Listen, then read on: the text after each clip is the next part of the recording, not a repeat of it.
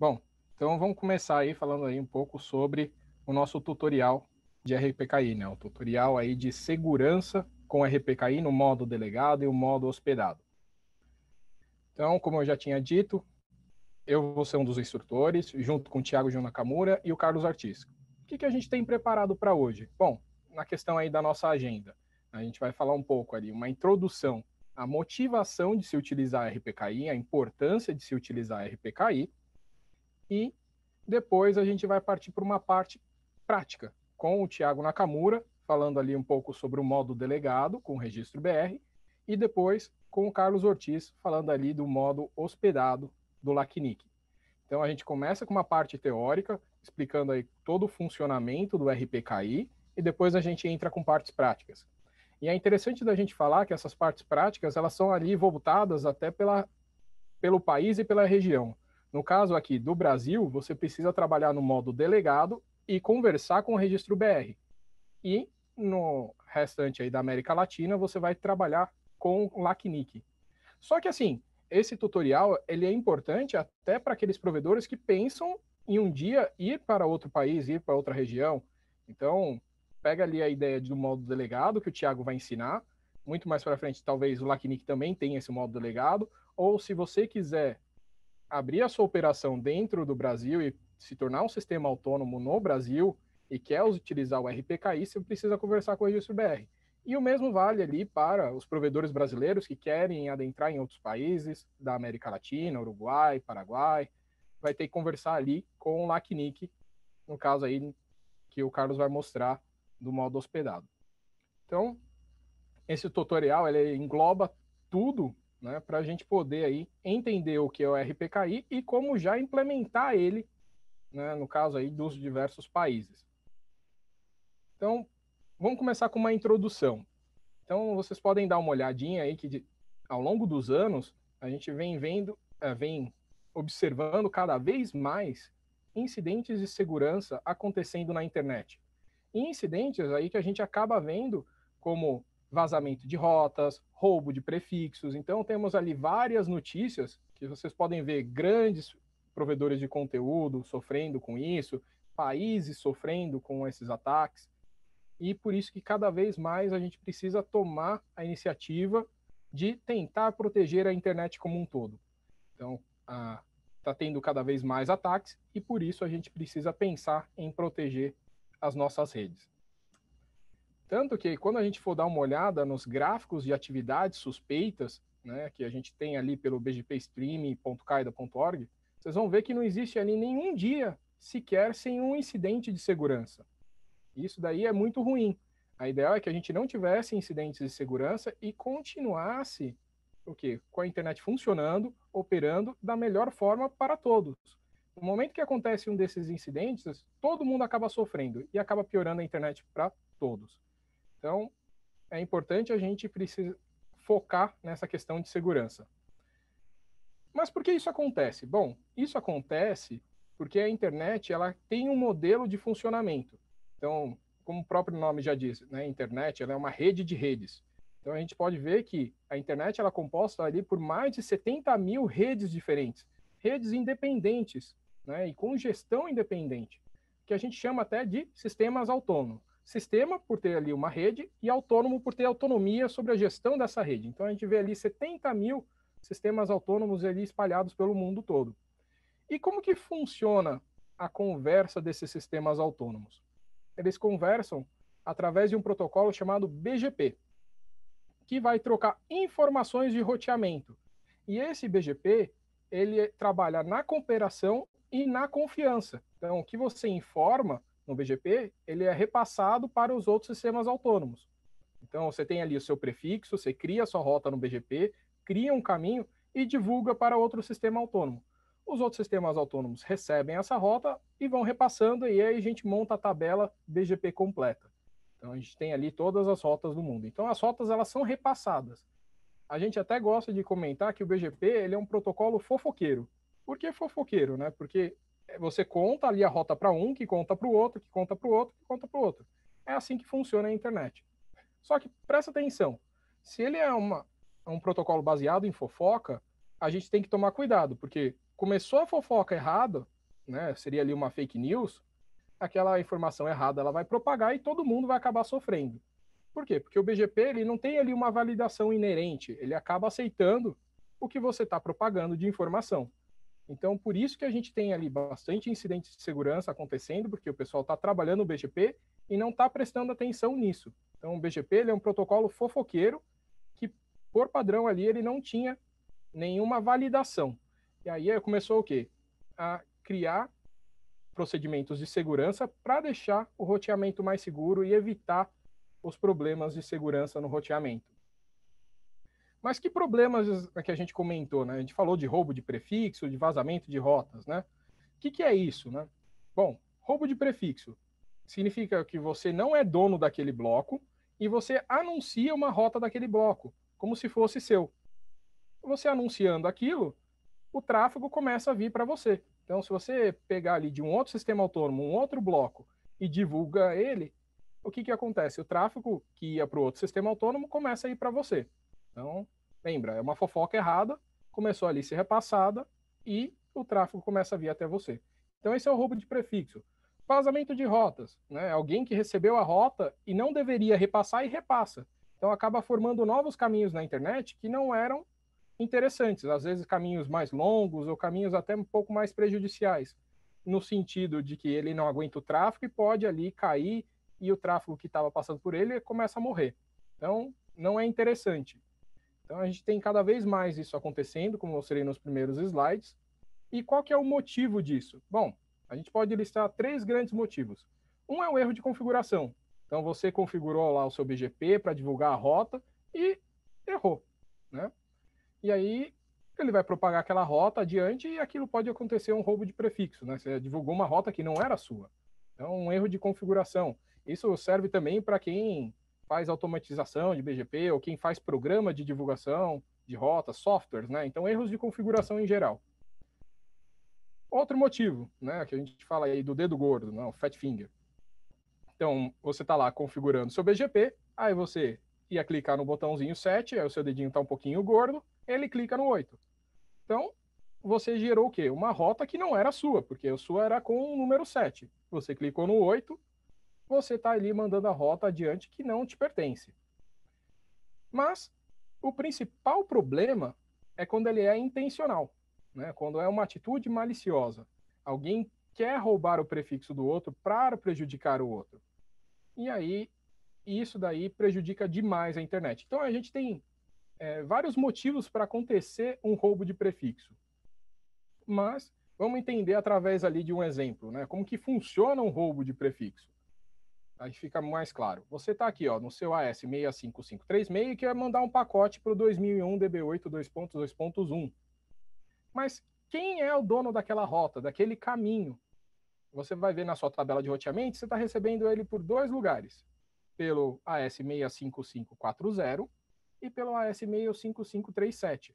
Só que, ó, um está falando eu tenho a rota barra 48 e o outro está falando eu tenho a rota barra 32. O roteador em si, na sua tomada de decisão, ele escolhe o quê? O prefixo mais específico. Então, ele prefere o barra 48. Só que ele é o verdadeiro dono? Não, como a gente já disse, ele está divulgando errado. O verdadeiro é do barra 32.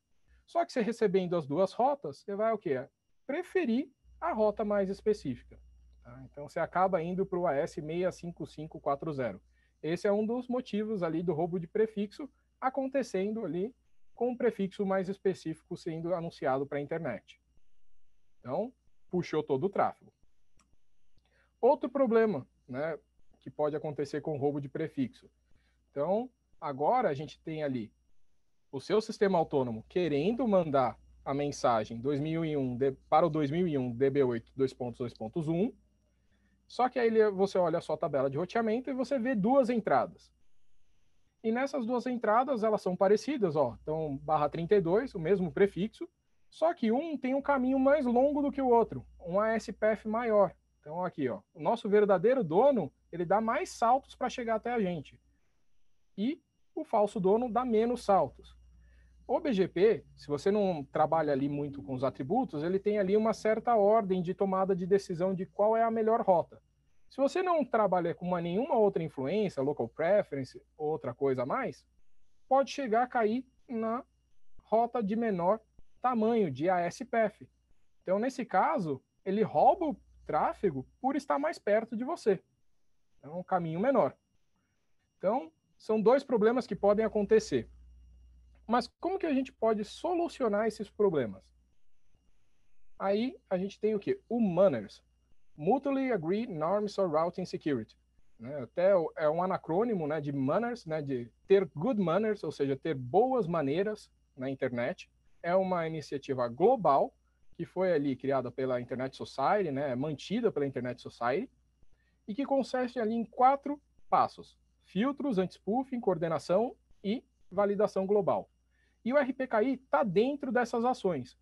O Manners ele serve para trabalhar a questão de segurança em vários outros aspectos, tá? além do que a gente está falando do roubo de prefixo. Mas o que, que eu quero passar aqui? O RPKI está dentro dele e que é interessante que todos participem do Manners. Tá? Então ali a gente tem até o site e você pode se unir ao projeto, pode assinar o projeto. E o mais interessante, você pode requisitar que os seus clientes e os seus upstreams também se unam ao projeto. Então basta entrar lá no manners.org, assinar e aí você vai ver ali é, a participação do seu sistema autônomo é, ajudando no projeto de melhoria de segurança do roteamento da internet. Se todo mundo fizer isso, melhora para todo mundo. Então por isso que a gente já recomenda o Manners. Eles têm um tutorial e o RPKI faz parte do Manners. Então, com o tutorial de hoje, você já vai conseguir ali fazer uma da parte das coisas do Manners.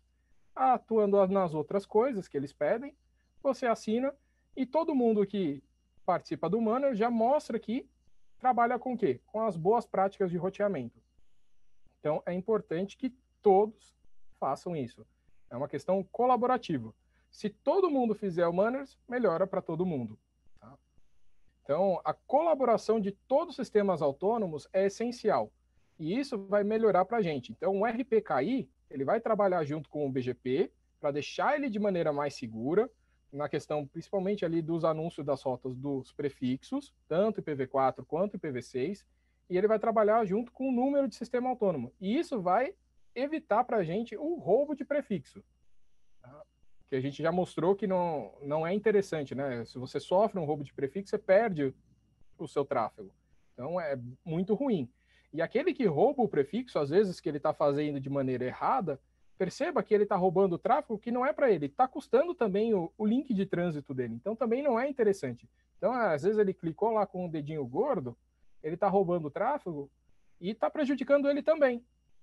Por quê? Porque está consumindo o link de trânsito, está prejudicando você, e prejudica todo mundo. Se a gente trabalha com RPKI, a gente diminui esses problemas. E aí a operação da internet ela tende a ficar mais estável, melhor para todo mundo. E o Manners, por ter outras coisas inclu incluídas, se você aplica isso, é, a internet vai ficar mais estável para todo mundo. Então é importante colaborar. Então, olhando ali com o RPKI, como que funcionaria? Ó, agora a gente tem um RPKI nos ajudando na tomada de decisão. É como se fosse ali um selinho. Esse daqui é o verdadeiro dono da rota. Então, no nosso exemplo, o AS65538, que é o verdadeiro dono, ele está assinando ali com o RPKI a sua rota. O falso dono não vai estar tá assinando, porque ele não vai ter a chave do verdadeiro dono, e vai mandar a rota. Na hora que você for verificar, você vai falar assim: olha, essa aqui é a rota verdadeira, vindo do AS 65538. A outra, do 65540, não é uma rota verdadeira, é uma rota inválida. Então eu posso descartar. Então não me afeta mais. Então se o quesito aí de alguém roubar o prefixo, os meus clientes eles ainda vão estar trafegando para o lugar certo. Então deixa de me afetar. Então melhora para todo mundo. E isso a gente chega com o RPKI. Mas antes da gente explicar como o RPKI funciona, eu preciso falar o quê? Sobre alguns conceitos de segurança. Então, aqui a gente vai entrar nos conceitos de segurança básicos, para a gente ter ali um know-how e entender como que é a operação do RPKI. Então, primeiramente, temos que entender como que é a questão de criptografia. No caso, a criptografia assimétrica. A criptografia assimétrica ela é baseada em duas chaves distintas e correlatas, ou seja, ali elas têm relacionamento. Uma chave que a gente chama de chave pública, que todo mundo conhece, que é, por exemplo, o cadeado da sua porta, e outra é a chave privada, né, que é só a sua chave, só do dono. Ninguém ali conhece a chave para poder abrir aquela fechadura. Então, ele é um segredo do dono. E o que mais interessante, como funciona essa questão de, a, de matemática, né, de criptografia assimétrica? O que uma chave faz, a outra desfaz. Então, se você criptografa com uma, a outra decifra. Tá? Então, é, o que uma faz, a outra desfaz. E isso que é muito importante para a gente entender como funciona o RPKI. Mas vamos ver através de um desenho. Então, aí, com o nosso Bob e a hélice. Então, eu quero ali garantir a minha confidencialidade na mensagem. Eu quero criptografar para que ninguém veja ela no meio do caminho. Ou seja, aquela mensagem ela está criptografada, está tudo ali embaralhado, ninguém vai entender o conteúdo dela. Você pega ali, você é a hélice e quer mandar uma mensagem para o Bob. Como que você pode garantir essa confidencialidade? Você pega a chave pública do Bob e cifra a sua mensagem. Cifrou a mensagem, você vai mandar pela internet. Se alguém pegar aquela mensagem, por ele não ter a chave privada, que é o segredo, que está só com o Bob, não vai entender aquela mensagem, não vai entender o conteúdo. Então você manda para a internet, vai chegar lá no Bob, ele é o único que tem o segredo, que é a chave privada, que ele não vai divulgar para ninguém, e ele vai decifrar, vai fazer a operação matemática contrária. Então, um que uma faz, a outra desfaz. Então ele decifra e ele consegue ler a mensagem. Então perceba como que está funcionando a nossa criptografia assimétrica. A outra coisa que a gente pode fazer é a questão da assinatura, que a gente pode garantir a integridade, a autenticidade né, da nossa mensagem. Então vamos dar uma olhada. Eu quero mandar uma mensagem para o Bob, ou seja, eu estou ali com uma hélice, e eu quero que o Bob entenda né, que sou eu mesmo que estou mandando que é aquela mensagem autêntica, foi gerada por mim. Então, eu aqui, como a hélice, eu vou o quê? Pegar minha chave privada e vou fazer ali uma continha na mensagem e vou assinar com a minha chave privada. Eu faço, eu faço um cálculo ali e coloco junto com a mensagem. Isso daí vai ser uma assinatura. Ele vai pegar a minha chave pública, que todo mundo conhece, e vai decifrar aquela parte lá da minha assinatura. E vai identificar que fui eu que mandei aquela mensagem. Qualquer um na internet vai poder pegar minha chave pública e vai poder ver que aquela assinatura é minha. Por quê? Porque ela só é gerada pela minha chave privada. Então, isso daí é uma garantia que sou eu que estou fazendo as coisas. Então, perceba que esse é um conceito muito importante, porque a gente vai assinar uh, vários documentos ali na questão do RPKI. Tá? Então, temos a assinatura e temos ali a, a criptografia, né? Cifrar o pacote. Só que perceba que para essas coisas funcionarem, para a gente ter essa garantia de funcionamento, a chave pública, né, ela precisa ser da pessoa certa. Por exemplo, aqui, ó, tô com o meu desenho aqui da hélice e do Bob Esponja, né, do Bob. Eu tô conversando com uma outra pessoa se passando pelo Bob essa pessoa me passa a chave pública, eu vou achar que eu estou falando com o Bob, mas na verdade é o Dick, é o Dick Figueiredo. Ele está se passando pelo Bob e está me mandando a chave pública do Bob. Então, se ele ensinar alguma coisa, né, com a chave privada dele, eu vou achar que é o Bob que eu estou conversando. Só que na verdade estou conversando com o Dick Vigarista. E se eu quiser mandar alguma coisa secreta para ele, que eu vou pegar a chave pública dele e cifrar, quem vai ler é o Dick Vigarista, não vai ser o Bob porque é ele que tem o parzinho que é a chave privada. Né? Então, como que eu garanto que a chave pública vem da pessoa realmente que eu quero conversar? Né?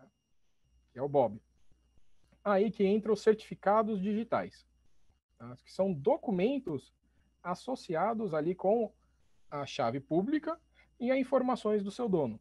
Então, aqui a gente vai ter a chave pública do Bob Esponja, falando que é do Bob Esponja, com as informações do Bob Esponja, e esse certificado vai estar tá ali, ó, assinado por uma outra entidade, uma entidade de respeito, uma entidade ali, uma autoridade, né? Então, é o caso que a gente chama aqui de CA. E aí, ela me atestando que realmente aquilo é do Bob e está certinho, eu vou poder utilizar para conversar com o Bob, mandar uma mensagem cifrada para o Bob. O Bob vai poder assinar um documento, eu vou identificar que é o Bob. E isso daí vai garantir todo o nosso funcionamento né, dessa criptografia assimétrica. É o que a gente chama de PKI, né, os Public Key Infrastructure. Tá? Então, é um modelo de PKI. Aqui não só utiliza no RPKI, mas utiliza em outros lugares. Tá? Então, a gente tem que ter esse certificado digital para garantir que a chave pública é realmente do Bob. Tá? Para a gente poder conversar com ele direitinho. Só que quem que são essas entidades né, que fazem esses certificados e assinam eles para realmente falar se essa chave pública é, é de determinada pessoa? Para isso, a gente tem uma cadeia de confiança. Né? A gente chama ali as autoridades certificadoras. Então, aqui a gente tem uma cadeia. Tudo começa com uma CA raiz, né? uma entidade ali, uma autoridade certificadora raiz. E ela vai criar ali o seu certificado digital e vai se autoassinar. Então, ela vai colocar ali a chave pública no certificado digital dela, né? que a gente está falando. Né? Então, vai ser a chave pública dela e ela vai utilizar para a chave privada para auto-assinar o seu certificado. E aí ela vai o quê? Gerar certificados para CAs filhas, né? para CAs aqui embaixo. Então, pro, no caso ali do A, ele vai gerar certificados para o C e para o D. E vai falar assim, ó, essa é a chave pública do C, essa é a chave pública do D. Eu garanto para vocês. E aí, a chave C, por exemplo, a entidade C, vai poder ali gerar certificados para F e para G. Então eles vão ali atestar que, ó, essa é a chave pública do F, essa é a chave pública do G. Então a gente tem uma cadeia de confianças até chegar nessa base aqui que chama o pessoal de CA folha, né, que é a base, ou então de end entities, tá?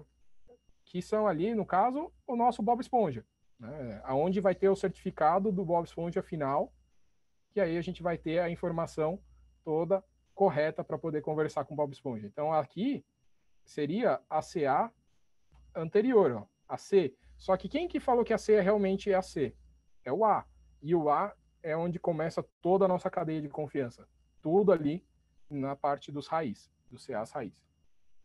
Então, vamos entender ali como são esses certificados. Então, aqui a gente tem o certificado raiz, tá? que ele é autoassinado. Então, ó, ele tem ali a chave privada dele, ele assina esse documento. Ele tem ali informações de nome dele e informações da chave pública dele. Então, todo mundo agora vai saber que o raiz tem essa chave pública. Aí, aqui o intermediário. O intermediário, ele tem a chave privada dele, né?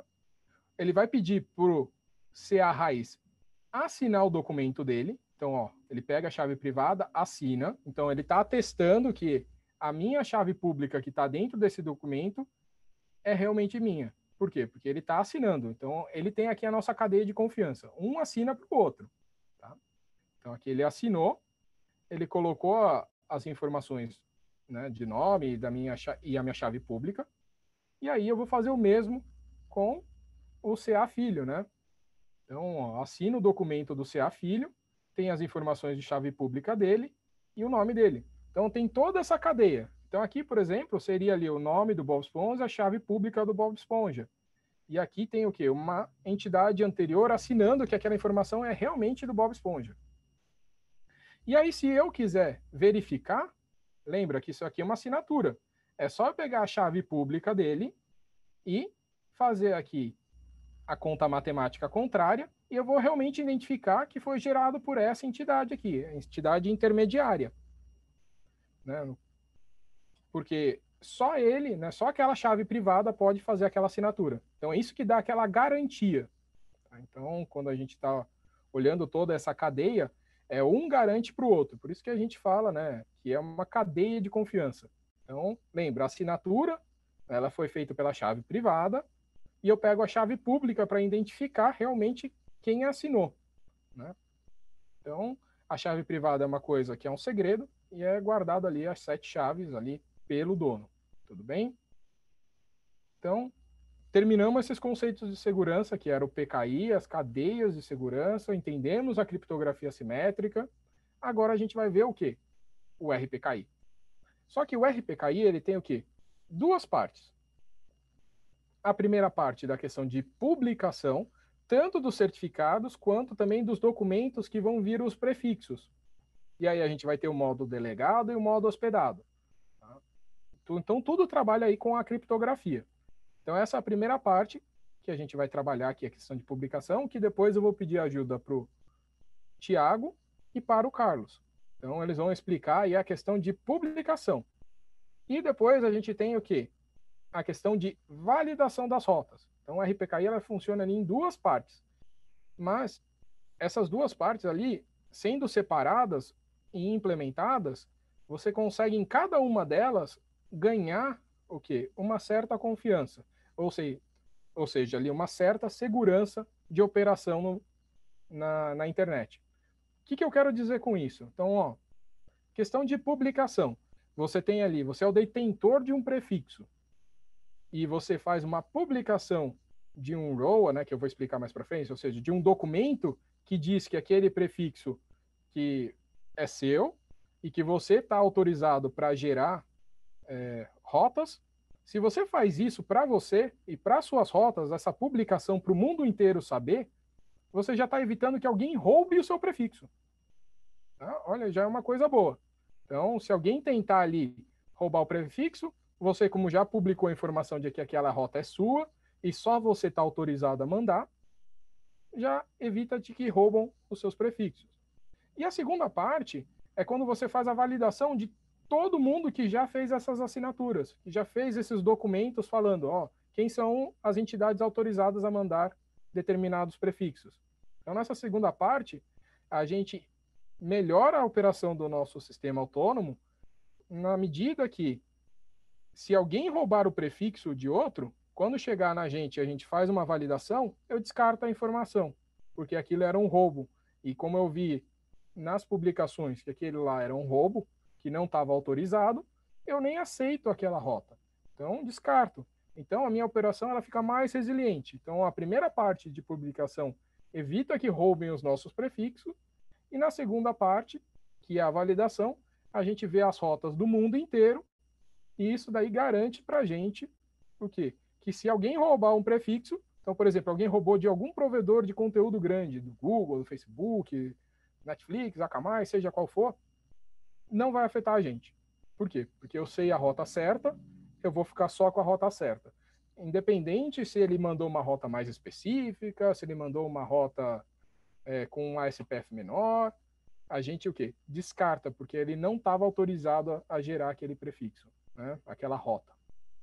Então, por isso que são duas partes, essas duas partes são separadas. No tutorial de hoje, a gente vai trabalhar muito mais a publicação. Tá? Então, é, a segunda parte a gente vai explicar como funciona, mas não dá para a gente fazer no tutorial, porque ele é pequeno, a gente tem aqui três horas para trabalhar, e nessas três horas a gente decidiu trabalhar com a questão de publicação. Mas nada impede, num próximo LACNIC a gente voltar aqui para conversar com vocês sobre a questão de validação, fazer ali uma segunda parte, né, mostrando como que os roteadores podem interagir. Mas eu vou passar o conceito para ninguém ficar ali com dúvidas. Então, primeira parte, publicação. Então, olhando ali como que o RPKI funciona. Então, a gente tem aqui a nossa entidade certificadora PAI, né? O, no caso, parece ali um prédiozinho muito mais estruturado, né? São, vão ser as nossas entidades certificadoras, autoridades certificadoras raiz. Depois a gente tem aqui do outro lado que parece ali uns servidorzinhos, são autoridades certificadoras suas, está vendo aqui, está dentro até do ASN, e a gente vai publicar essas informações, né? tanto as informações dos prefixos que são permitidos a gerar determinadas rotas, né? os ASNs que podem gerar determinadas rotas, como também aqueles certificados né? com as nossas chaves públicas. Então a gente vai se preocupar nessa primeira parte. Mas, para a gente falar disso, a gente precisa entender como que é a distribuição de recursos de numeração, os IPs e ASNs. Primeiramente, né, tudo começa com uma entidade chamada IANA. Né? E a entidade IANA, ela distribui os endereços para as entidades regionais, como ARIN, LACNIC, RIPE, AFNIC e APNIC. Então, elas distribuem para essas entidades regionais E essas entidades regionais, em algumas determinadas regiões, passam esses recursos de numerações para entidades nacionais. No caso aqui, ó, temos o Brasil, né, com o NIC BR, e tem o NIC México, né, também trabalhando abaixo do LACNIC. Então a gente tem já essa cadeia. E perceba que essa cadeia hierárquica, né, já lembra um pouco aquela nossa historinha das PKIs. Né? Tanto que, como a gente está querendo colocar nas PKIs os recursos de numeração, a gente vai o quê? Se aproveitar dessa estrutura para a gente poder fazer a nossa cadeia de confiança no caso de recursos de numeração.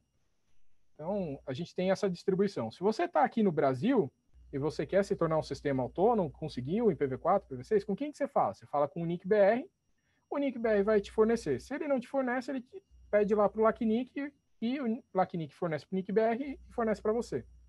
Se você está nos outros países aqui da América Latina, você fala direto com o LACNIC, com exceção do México, né? Fala direto com o LACNIC. Então você pede ali os recursos de numeração, IPs, ASNs, tudo lá para o LACNIC. E é importante da gente frisar esse conceito, porque cada um tem que conversar com a entidade correta. Né? Então, como que a gente monta aquela cadeia de confiança né, dos PKIs, colocando aí os recursos de numeração e seguindo também aquela estrutura de entrega de endereços, porque afinal essas são as entidades que têm o um conhecimento. Ó, esse prefixo vai para essa instituição, esse prefixo vai para outra instituição. Tá? Então elas têm esse conhecimento, então elas acabam sendo ali entidades chaves, né, na hora de construir essa nossa estrutura do RPKI. Então, como que funciona no caso aí do RPKI? A gente vai ter as nossas entidades raiz, né, as nossas autoridades, sendo ali os HERs, que a gente também pode chamar de Transancor. Elas que vão gerar os certificados digitais autoassinados. Então, ali tem o Afrinic, o Apnic, o Arin, o Lacnic e o RIPE. Então, ali elas vão ser a nossa base. Tá? Não é a IANA. Tá? Vai ser ali as entidades regionais. E aí, por exemplo, no caso aqui do Brasil, o Brasil tem o NIC-BR. O NIC-BR foi lá e conversou com o LACNIC e falou assim, ó, gera um certificado digital, tá aqui a minha chave pública, eu, e coloca essa informação para mim nesse certificado. O LACNIC foi lá e gerou o certificado pro NIC-BR. Então, o LACNIC falou assim, essa chave pública é realmente do NIC-BR. O NIC-BR vai fazer o quê? Vai fazer o mesmo para as entidades filhas. No caso aí, os provedores que querem participar do RPKI. Ah, o provedor vai conversar no NIC-BR, no caso, numa das partes do NIC-BR, o registro BR, e vai falar assim, ó, já no certificado para mim, essa minha chave pública. E aí o NIC-BR vai o quê? Assinar o certificado e falar assim, ó, essa, esse documento é realmente daquela pessoa, né, daquele provedor, daquele sistema autônomo. No caso aí dos outros países que não tem uma entidade nacional, já vai falar direto com a raiz, ó, no caso com o LACNIC. E vai chegar lá, LACNIC, ó, gera para mim um certificado digital com a minha chave pública, e aí o LACNIC gera o certificado para você. Tá? E essa é a questão do certificado. Agora a gente vai falar o quê? Dos documentos de autorização de geração de rotas, tá? que são os ROAs. Então, o ROA nada mais é que um documento que diz eu autorizo a SN tal a criar uma rota originando ali desse prefixo.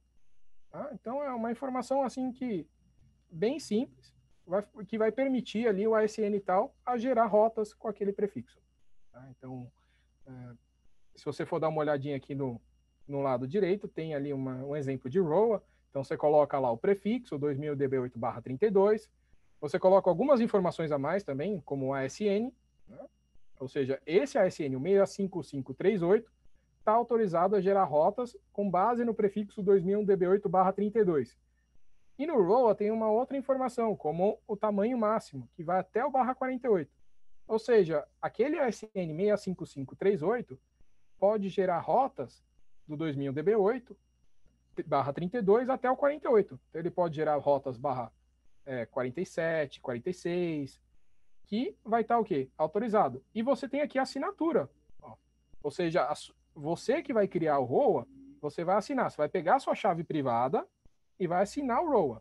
Lembra disso? É a chave privada que assina. E aí a pessoa que quiser conferir que realmente é a sua assinatura, ela vai olhar o certificado que tem a sua chave pública e vai ver o quê? Vai fazer a continha contrária, lembra? Faz a continha contrária e vai identificar que é, realmente aquele rol é seu. Tá? Então, perceba que as coisas se encaixam. O certificado tem que ir junto com o ROA. E aí a gente identifica que aquele rol é seu, tá tudo certo. E como que ele verifica? Ah, ele vai ver ali aquele certificado digital com a sua chave pública. Se ele tiver ali alguma desconfiança, ele sobe na hierarquia, vê ali que é o LACNIC, está tudo certo. Temos a nossa cadeia de confiança, aquela chave pública é realmente dele. Então, você faz a continha, você vê que a, só aquela chave privada poderia ter assinado aquele ROA. Então, o ROA é o documento que vai dizer o ASN tal está permitido a gerar rotas do prefixo tal até tal né, do tamanho tal até tal. Então, seja ali do barra 32 até o barra 48. Então, a gente vai trabalhar com os dois. Então, os ROAs são feitos pela o detentor do recurso. Né? Então, ele tem que gerar o certificado digital e depois ele vai criar ali os ROAs. Só que percebam que o detentor do recurso ele não é obrigado a colocar o ASN dele, ele pode dar autorização para outro sistema autônomo. Então, mas é ele que está permitindo esse sistema autônomo, meu vizinho, que eu tenho ali um, um contrato com ele, tudo, eu permito ele gerar rotas para mim. Tá? Então, existe às vezes aí alguns motivos de você permitir outro sistema autônomo a gerar rotas por você. Tá? E aí você tem que criar um ROA para ele. E aí você tem que armazenar essas informações, tanto do seu certificado quanto aí dos ROAs, em repositórios públicos de confiança e que tenha alta disponibilidade, ou seja, estão sempre ali disponíveis para as pessoas verificarem. E outra, não basta gerar o ROA e esquecer. O RPKI não funciona dessa forma. Ah, gerei e nunca mais mexo. Você precisa o quê? Garantir a manutenção dele. Por quê? Porque se você gera um ROA lá para um determinado tamanho, por exemplo, ah, para a rota sua tamanho barra 16, só barra 16. Se você muda a sua política de roteamento, quer trabalhar com rotas mais específicas, barra 17, barra 18, o que, que vai acontecer?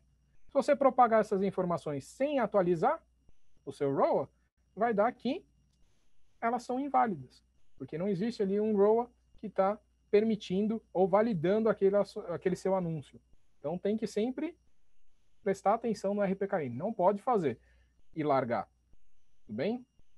Então aí a gente tem dois modos de operação, né, no modo hospedado e o modo delegado. Vou passar bem por cima, porque, na verdade, quem vai falar um pouquinho disso é o Tiago e o Carlos, tá? Então não quero entrar muito na fala deles, mas eu vou explicar bem por cima. O modo hospedado, no caso aí que o LACNIC fornece para vocês, vocês entram ali numa interface web deles e vocês fazem toda a conversa do lado do RPKI nessa interface web. Então você vai pedir para ele gerar sua chave pública, gerar sua chave privada, tá? vai pedir para ele gerar o certificado, e aí depois você vai criar os seus ROAS, tudo na interface web, tá? De maneira assim, bem simples, assim, como esse gráfico, e ele vai armazenar todas as informações para você. No modo hospedado, ele vai criar o, chave de, o par de chaves, então ele vai ficar com a sua chave privada. Tá? Então você tem ali a sua relação de confiança com aquela instituição. No modo delegado, né, que às vezes a gente fala que é para pessoas de segurança que tem ali um pouquinho mais de medo de deixar a chave privada com o outro, tá? você cuida da sua chave privada no modo legado. Então você se torna uma CA, você não depende ali de alguém gerar as coisas para você. Você se torna uma CA e aí você centraliza toda essa operação. Você cria sua chave privada, cria os seus certificados para os outros, pede para os outros assinarem lá para você o certificado digital e você ali ganha ali um pouquinho mais de flexibilidade. Tá? Então o Tiago vai falar aí do modo delegado e depois o Carlos vai falar do modo hospedado. No caso do Brasil, só tem o modo delegado. Tá? Então tem que entender ele como funciona. Então o que, que você precisa no modo delegado? Você vai precisar ali de um, um software para ser uma CA, né, uma entidade, uma autoridade certificadora. No caso aqui a gente recomenda o CRIO, que é o que ele vai mostrar, que é o que funciona com o registro BR e depois você toma a decisão aonde você vai publicar suas informações no servidor de publicação. Você pode utilizar o do próprio NickBR ou criar o seu próprio. Tá? Vamos lá para o finalzinho aqui, que é para a gente explicar um pouco sobre a validação, tá? que é essa segunda parte aqui. Então, a gente já publicou e está evitando que roubem os nossos prefixos. Agora, como que a gente valida o que o resto do mundo está mandando para a gente? Você vai ter aqui a questão do validador. Então, você vai ter uma máquina, que vai ser o validador, que ele que vai pegar todos aqueles ROAS que vão estar tá publicados, vai pegar todos os certificados digitais, ele que vai verificar se realmente a assinatura está correta, vai percorrer toda a cadeia de confiança, e depois ele vai falar assim, ó, ó, tá tudo certinho, esses ROAS estão todos corretos, não tem nenhum erro, tá tudo certificado, tá tudo ok, e vai passar para o roteador. Aí o roteador pega essa informação, quando recebe ali as rotas dos upstreams, e toma uma decisão. Ó, essa rota ok, essa rota não ok. E aí para frente, você tem uma melhoria de operação no seu provedor, porque se alguém tentar mandar uma rota que não pertence a ele, você pode descartar essa informação. Tá? Então a gente trabalha com o validador, e com o seu roteador. O roteador tem que saber falar com o validador. A gente vai mostrar que tem alguns casos, tá? Que vocês podem utilizar. Então aqui, ó, os ROAS estão tudo lá no validador, tá? Ele vai receber toda a informação e ele passa para o roteador. E olha lá o nosso caso, a gente tem aqui o AS65538, que tem o ROA, falando que ele pode utilizar para gerar uma rota barra 32, e tem aqui o AS65540, que não tem um ROA, né? dizendo que ele pode utilizar, mas ele está mandando rota. Você, quando recebeu as duas rotas, ó, veja aqui o caminho aqui embaixo. Mostrou que uma rota é mais específica do que a outra. Não importa. O que importa realmente é aquela que tem a validação.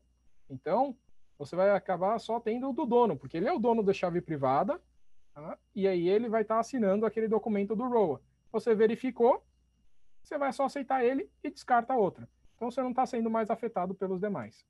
Tá? Então temos aí o validador, que tem que conversar com os repositórios de confiança do RIPE, do LACNIC, de todos aqueles Trust Anchors. Ele tem que ter ali um cache, ele vai fazer um, uns updates periódicos, né?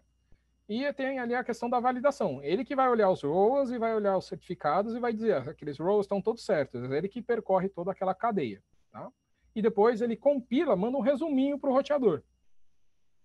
Então, dos validadores, a gente tem algumas opções, o Routinator, tem do Dragon Research, temos do Ripe Validator, tem da Cloudflare com o Octo RPKI, tem o Forte Validator que foi feito aí com o Nick Mesh, o LACNIC, tá? E é recomendado você ter mais de um validador e distinto. Por quê? Porque se um trava, tem algum problema, você tem outro. Ah, um soltou um update que não funcionou tão bem. Você tem uma outra operação de algum outro que funciona bem. Tá? E aí você não perde ali a sua operação. Tá? Então, as nossas recomendações. Os roteadores, então, vão receber aquele resuminho e vão tomar as decisões das suas rotas. Se elas são válidas, inválidas ou desconhecidas. Tá? Então vamos dar uma olhada através de uma tabelinha. Ó. Aqui, ó. Tem o ROA, o 65536, prefixo 10 16 até o barra 18. Então, ó, o 36, aqui em verdinho, o primeiro, mandou uma rota barra 16, 10, 0, 10, 0. Opa, tá dentro do prefixo ali, eu aceito, tá válido. Pois aqui, ó, a gente tem ó, o AS 65536, mandando ali ó, um barra 17. Tá dentro do prefixo, tá menor ali que o tamanho máximo, que era o barra 18, também aceito, tá válido. São rotas que eu aceito como válidas. Veja ali, ó, 36 mandando uma rota barra 24. Ó, o ROA tá falando que é até o barra 18. Então, é inválido. Tá? Mandou coisa errada, ele tem que atualizar os ROAs. O 65540 né? Tá mandando um barra 18. Apesar do prefixo estar tá certo, só que não pertence a ele, né? A gente vê que o sistema autônomo é outro, é 36 que está escrito no ROA. Então, inválido. Então, alguém tentou roubar o prefixo, já vai ficar marcado como inválido. E temos ali a questão do desconhecido. O 36 tentou gerar um prefixo ali, ó, barra 8. Ou seja, ali não está entre o 16 e nem o 18, só que está antes. Né? Isso daí é desconhecido. Não tem um prefixo que engloba aquele barra 8. Tá? E tem aqui o 40 também tentando gerar um barra 8. Não tem um, pref... não tem um row que engloba aquele prefixo, então ele entra como desconhecido. Você recebendo ali as rotas, pessoal, você pode tomar algumas atitudes, como por exemplo, aplicar filtros.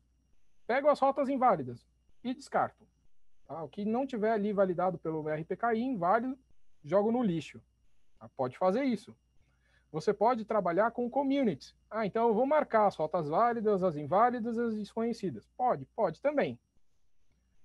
Posso mudar o local preference. Ah, então vou melhorar o local preference das válidas, vou piorar um pouquinho da desconhecida e vou piorar muito a das inválidas. Pode, pode.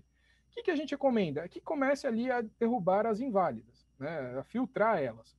Só que, assim, às vezes o pessoal tem um pouco de receio de fazer a primeira operação e acha que vai danificar toda a rede. Então, o que, que você pode fazer? Pode trabalhar marcando só com community. Depois você vai olhar sua tabela de roteamento, está demarcada. Quantas são inválidas?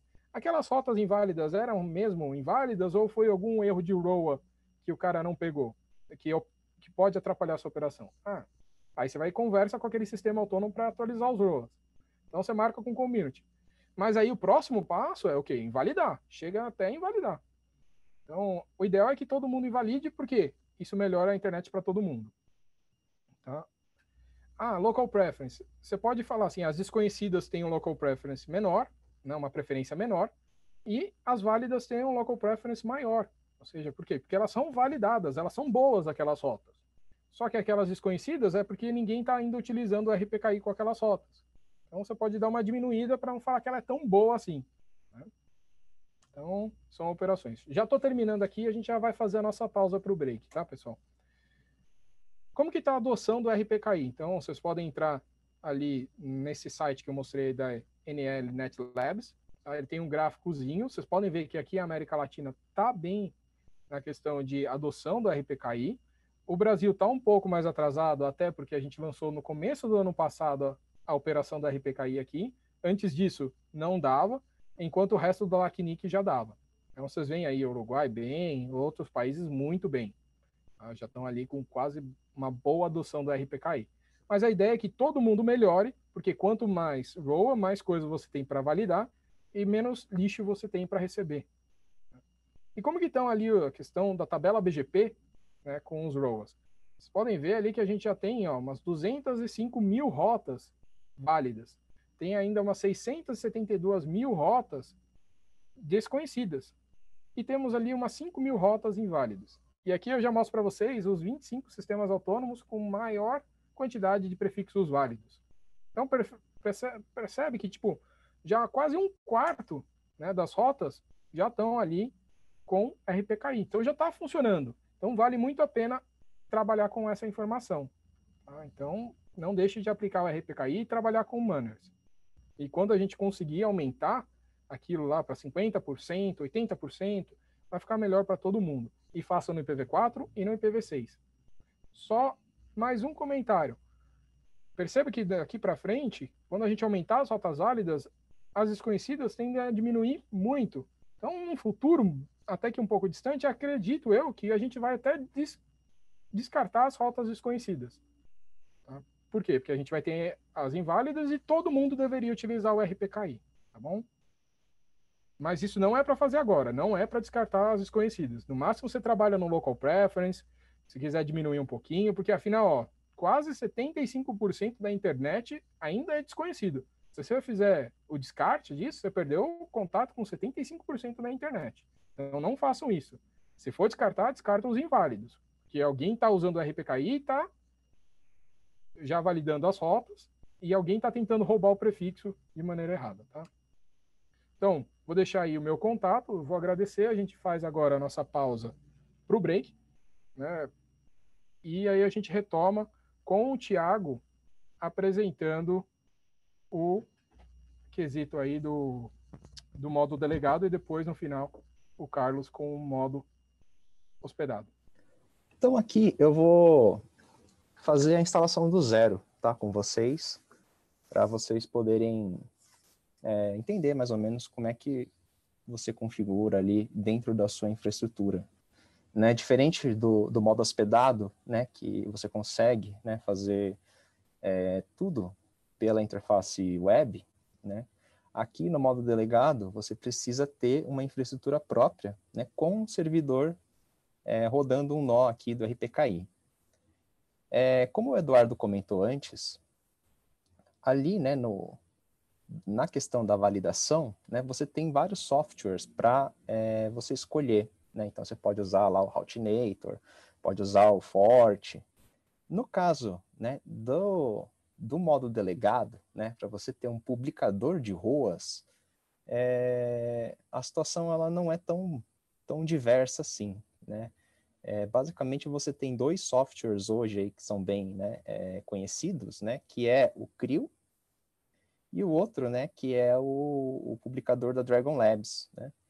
É, Para esse tutorial, eu vou ensinar aqui a configurar né, a, através do CRIO, né, é, até porque né, foi a própria escolha né, que aqui no Brasil a gente usou né, para fazer a infraestrutura de RPKI daqui, né? Então, é um software que tem se mostrado bem confiável né? e é open source também.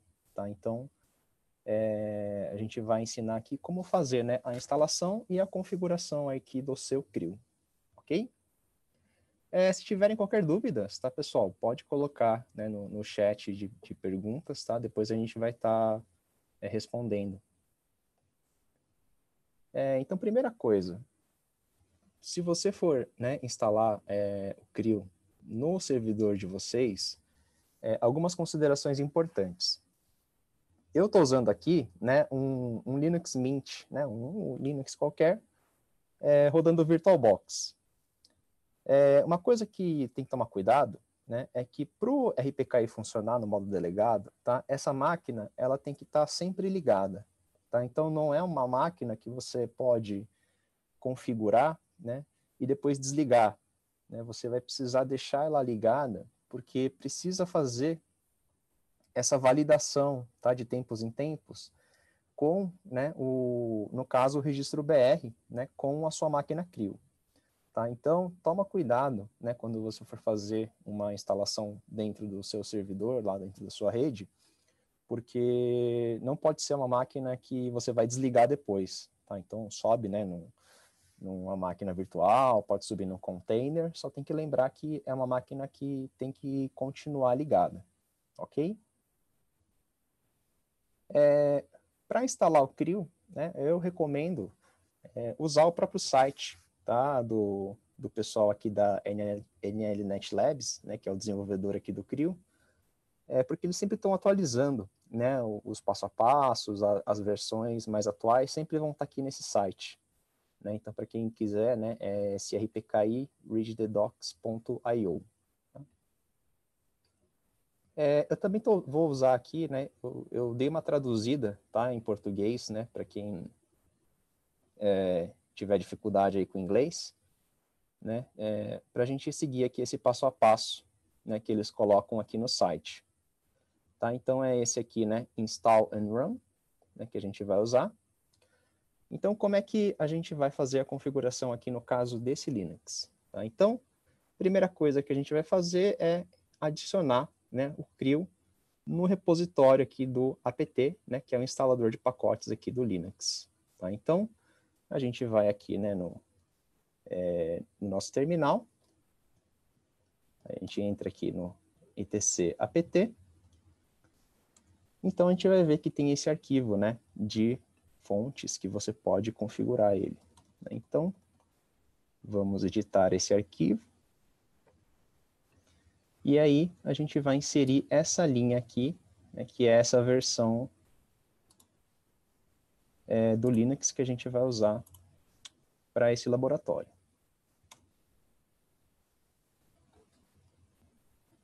Então, vamos colar aqui esse deb.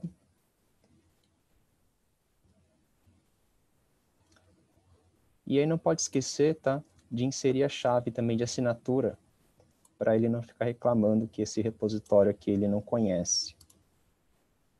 Então a gente também vai assinar aqui. E vamos inserir a chave. Agora que a gente já colocou, né, você pode dar aqui um sudo apt-get update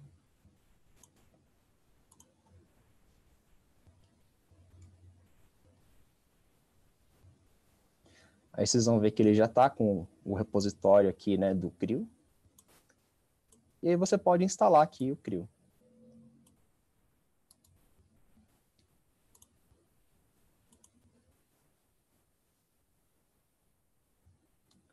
Então, dá o apt-get install, aí ele vai instalar o CRIO para você.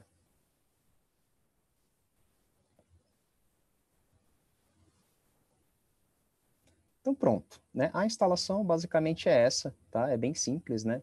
É, eles melhoraram muito, né? Esse processo de instalação. Antigamente tinha que instalar vários pacotes, né?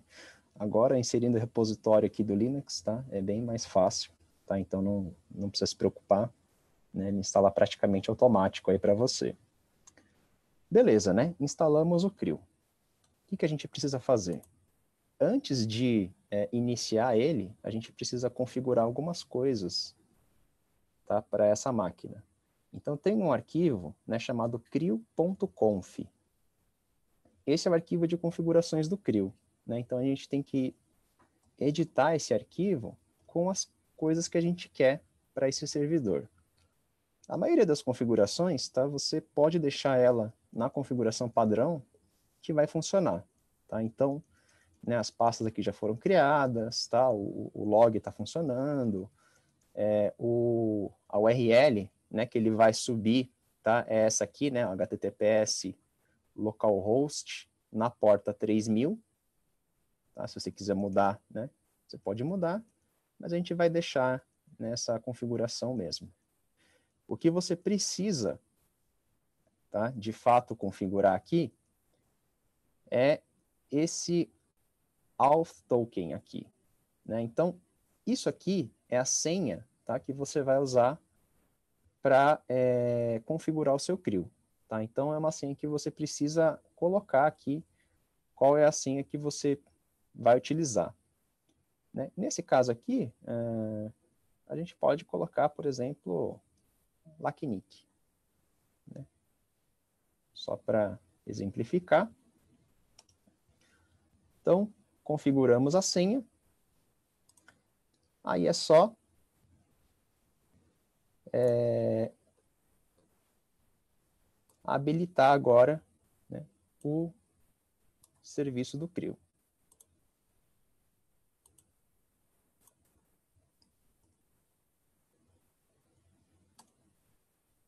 Para quem quiser esse passo a passo aqui, tá? É, a gente subiu lá no site do LACNIC, né? Dá para pegar o, esse documento. Então, subimos aqui o CRIO, aparentemente está tudo certo. É, como é que a gente vai conferir? Acessar né, o, a URL lá que estava configurado para o CRIO. Então é https dois pontos barra barra localhost na porta 3000. Ele vai reclamar, tá? Por quê? Porque ele tem um certificado autoassinado, tá? Então não é é, não é perigoso aqui, né? Até porque a gente mesmo que subiu, né, esse serviço. Tá? Então eu vou ter que autorizar aqui o, a, o certificado. Aí ele vai entrar aqui, né, no sistema aqui do CRIO. É, o CRIO ele já está né, é, traduzido em algumas línguas, tá? Ele já está inclusive em português, né? É, como eu vou ensinar a mexer aqui no sistema do registro BR, tá? Eu vou deixar os dois sistemas em português, né? É, porque aí vocês vão conseguir ver, né, a, como que a gente faria, né, aqui no nosso sistema no Brasil. É, a senha é aquela senha que você configurou lá naquele auth token, né, que nesse caso aqui era LACNIC.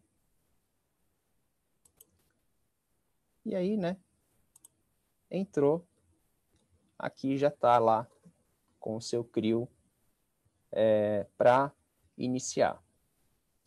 Uma coisa que ele vai pedir aqui, né, é qual que é o nome, né, da sua CA, tá? Então, né, é, lembra que o Eduardo falou lá da questão de CA, né?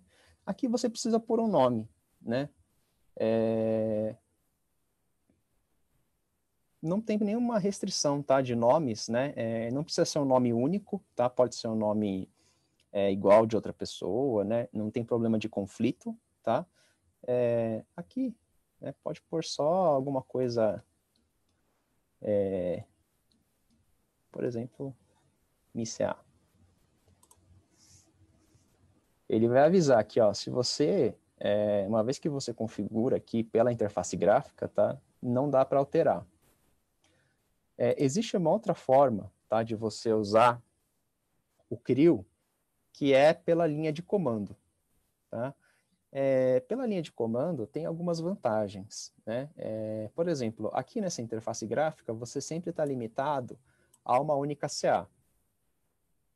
Então, se você, né, por exemplo, administra outros AS, né, e você quer configurar, né, o CRIO, tá, com mais de uma CA, é, você vai precisar usar a linha de comando para isso. Tá? Aqui, no caso, né, é, no, é o exemplo de um provedor né, que administra só um AS, e aí ele vai ter só uma CA aqui configurada. Tá? Então, é o caso mais comum né, é, que a gente vai mostrar aqui para vocês. Aí aqui já está com a minha CA criada. O que, que eu preciso fazer agora? Eu preciso avisar né, a entidade pai, que no caso aqui né, é o, o NICBR, que eu criei né, uma, um nó aqui do CRIO. Como é que a gente faz isso? Eu vou ter que entrar lá no sistema do registro BR e fazer a configuração do RPKI é, lá. Né? Então, eu vou acessar aqui né, uma conta beta. Deixa eu ver o que ele está pedindo aqui. Será que eu sou um robô? Ó. Ó, não. Eu não consigo ver ele. Tá. Ufa, não sou um robô.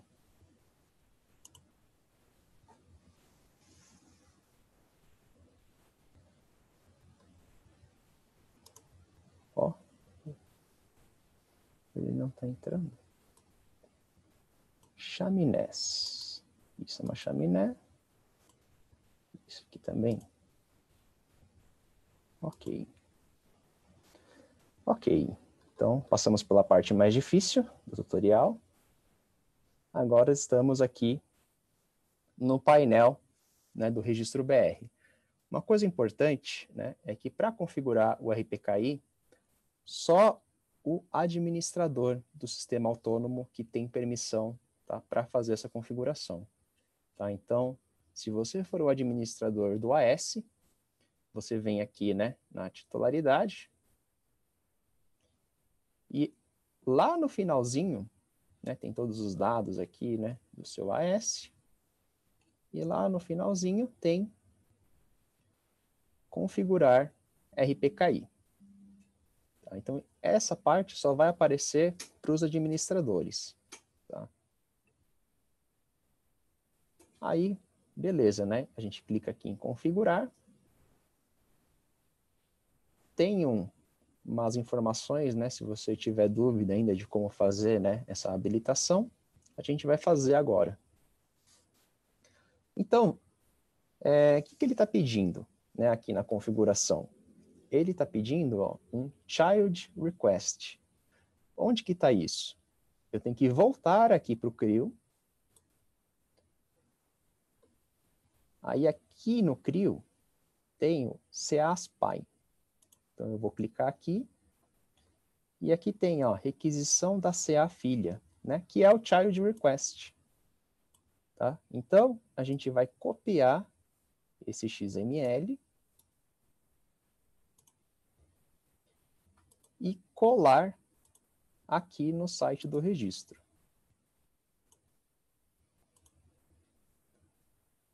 Então, aqui, o que eu estou fazendo?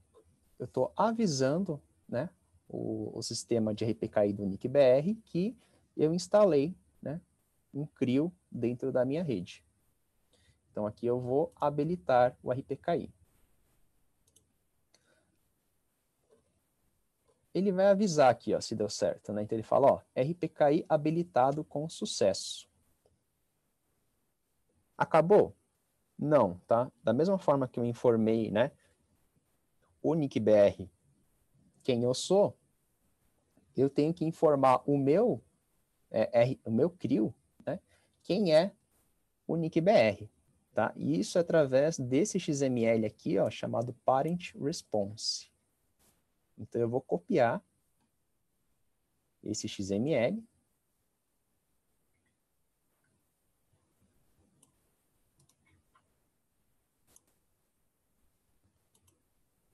E eu vou aqui embaixo, ele está pedindo ó, a resposta da CAPI, que é esse parent response. Então eu vou aqui e colo o XML do parent response. Ele vai detectar já as informações tá, dessa CA, né, no caso aqui é o nick BRCA, e aí eu dou confirmar.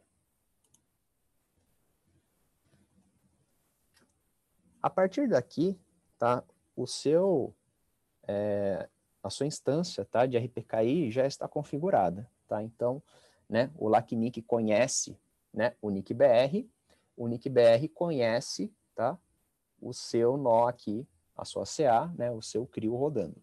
Tá? Então, aqui já está pronto, aqui você já poderia configurar lá as suas ruas né, para anunciar no sistema do RPKI. O NICBR, ele te dá uma segunda é, opção para você configurar o CRIO, que é habilitar a publicação remota. Tá? O que, que é essa publicação remota? É, se você deixar dessa forma tá, e publicar suas roas desse jeito que está agora, é, sempre que alguém for consultar a roa, ele vai ter que consultar no seu servidor CRIO tá? Porque as ruas estão armazenadas nessa máquina aqui que a gente está fazendo. Se você não quiser, né, que todo mundo que for consultar, né, é, consulte nessa máquina aqui, o ONICBR deixa, né, você hospedar as ruas, né, dentro do sistema do registro, tá? Então, para fazer isso, eu preciso habilitar aqui a publicação remota, tá? Então, a gente vai fazer isso aqui, né? A gente configura aqui a publicação remota. Aí ele está pedindo, né? Quem que é o seu Publisher Request. Esse Publisher Request está aqui nessa aba repositório. Então a gente vem aqui no CRIO em repositório, tem aqui requisição do publicador, que é o Publisher Request. Né? Então, é, a gente copia este XML, e cola aqui na interface do registro.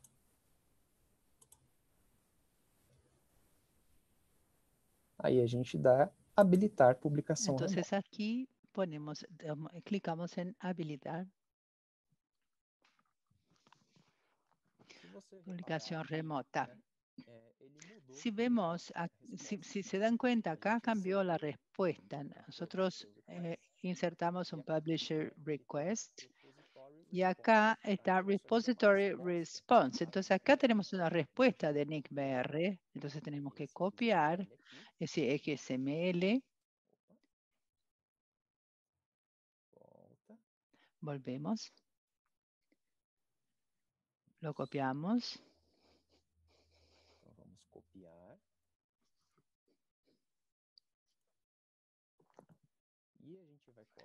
Y lo pegamos resposta do repositório. Cola esse XML aqui no CRIO. Opa, é paste. Tá, então, repositório response vem aqui nesse campo. E aí eu clico em confirmar. Pronto, tá?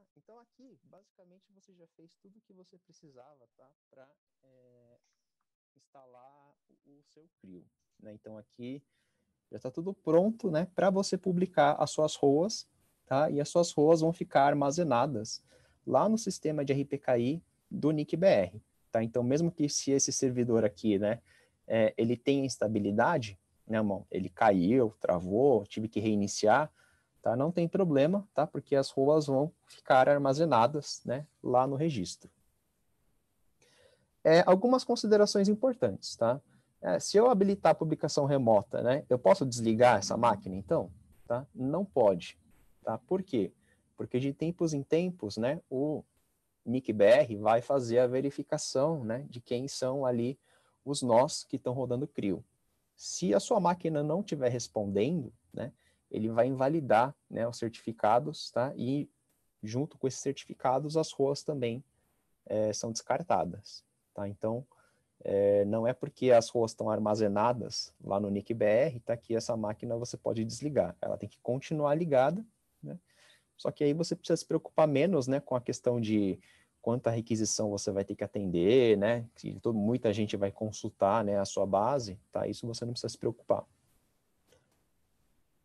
É... Beleza, né? Aí a gente configurou tudo aqui. Aí precisa, né, agora, é, fazer as configurações de fato, né, das ROAs, né, que é o que importa, né, no RPKI. É... Essa é uma das partes, né, simples, né, mas são complicadas da gente entender o que, que a gente quer fazer, tá? É, o CRIO, tá? Para ajudar a gente, né? Ele tem um, ele faz uma consulta nas tabelas de roteamento do RIPE, né? Que é o registro internet lá da Europa. E aí ele consegue mapear para você, né? O que, que ele está enxergando na tabela BGP referente, tá? A, aos seus dados. Né? Então vamos clicar aqui, ó. Ele vai atualizar, né? Na tabela BGP, que dados tem referentes do meu AS. Como que o CRIO sabe né, quem é o meu AS, quem que é o meu anúncio, né, meu bloco IPv4, meu bloco IPv6, como que o CRIO sabe disso? Né? É porque nessa troca de XMLs, né, eu estou informando né, para o registro, e o registro também está validando os meus dados. Tá? Então, não é qualquer pessoa que consegue né, fazer essa configuração. Lembra né, que é só o administrador né, do sistema autônomo que pode fazer isso, né? E na hora que você faz esse pareamento, é, automaticamente tá, o CRIO também está recebendo as informações dos dados né, referentes ao seu AS. Tá? Então, por isso que quando chega nessa parte aqui, ele já consegue verificar né, o que, que quem é você né, na internet. É, então, ele consultou lá a tabela BGP né, do RIPE, e ele viu que tem quatro anúncios né, referentes aqui ao meu AS que eu configurei agora. Né? Então, ele tem um barra 40, tem um barra 48 IPv6, e tem um barra 22 e um barra 24 né, em IPv4. É, que ROAS né, que é, eu deveria configurar né, para a internet? Esse é um assunto que a gente ainda está aprendendo, né, na verdade. Né? Então, é, o que, que seria o mundo ideal? Né? O mundo ideal seria todos os anúncios né, que eu estou fazendo para a internet, eu deveria ter né, uma rua validando aquele anúncio, né? E tudo que eu não estiver divulgando, né, é, isso deveria ser invalidado pelo RPKI. Tá? Então, é, esse seria o mundo ideal. Como é que eu posso fazer né, é, essa situação aqui no CRIO? Né? Então, eu estou vendo aqui esses quatro anúncios. Suponha que isso é de fato o que eu deveria estar divulgando, o que eu quero divulgar para a internet. Né? Então, se alguém quiser divulgar uma, uma rota mais específica ou um outro anúncio, eu não quero que isso seja validado, né? porque eu só vou fazer esses quatro anúncios aqui. Então, o que, que eu faço aqui no CRIO? Eu vou aqui no maisinho, né? eu clico nesse mais, ele já vai né, ter as informações referentes aqui né, ao bloco e ao AS, e eu dou confirmar. Tá? Então aqui ele já cria tá? para mim uma ROA né, referente a esse anúncio aqui da tabela BGP. Né? Então, no mundo ideal, o que, que eu faria? Né? Para cada anúncio que eu tenho né, é, na minha tabela BGP, eu gero uma ROA. Tá? E aí eu impeço né, que coisas inesperadas apareçam na tabela BGP. Qual que é o porém disso? É, eu não posso esquecer que toda vez que eu fizer uma alteração na minha tabela BGP, né, então, ó, eu preciso anunciar uma coisa diferente, né, anunciar um negócio mais específico, anunciar né, outra coisa, eu preciso lembrar de criar uma ROA para esse anúncio, tá? Porque senão ele vai ser invalidado, né, pelo meu próprio RPKI, tá? Então, né, a, o porém né, dessa configuração é que sempre que eu for alterar qualquer coisa na, nos meus anúncios, tá, eu preciso também alterar isso aqui na tabela né, do CRIO né, das ruas. Tudo bem? É, tanto que aqui a gente já pode ver, né, que ele, ó, se eu criei esse primeiro anúncio aqui, ó, ele já invalidou o segundo, né? Por quê? Porque ele não achou nenhuma rua que valide esse segundo anúncio. Né? Então, se eu quiser que os dois anúncios sejam válidos, eu preciso criar as duas ruas. Então, eu vou criar a segunda rua aqui. Pronto. Né? Agora, os meus dois anúncios estão validados. Né? Se eu fizesse um terceiro anúncio de 1 barra 48 aqui, né, e não criasse uma rua, tá, ele ia ser invalidado na validação. Tá? Então, eu precisaria também criar uma terceira rua referente àquele outro anúncio. Tá? Então, sempre que eu for fazer um anúncio adicional, eu tenho que inserir uma rua específica para esse anúncio. Tudo bem? Ah, isso dá muito trabalho, né? É, tem como eu deixar né, um intervalo de redes né, que eu posso validar, né, e aí, né, se eu precisar alterar na tabela BGP, mudar o anúncio, né, é, isso não vai ser invalidado pelo RPKI? Tem, tá? Você consegue, né? É, se você olhar aqui, né, no, nas informações de anúncios das ruas, o que, que você tem aqui? Né? Número de AS, o seu prefixo e comprimento máximo. O que, que é o comprimento máximo? É o intervalo né, que você quer validar né, essas, é, esses anúncios. Tá? Então ele está falando aqui, né, ó, qualquer coisa que seja 168.181 1.20.0 barra 22 até 1 barra 22 né, é, é válido. Qualquer coisa mais específica que esse barra 22 não é válido.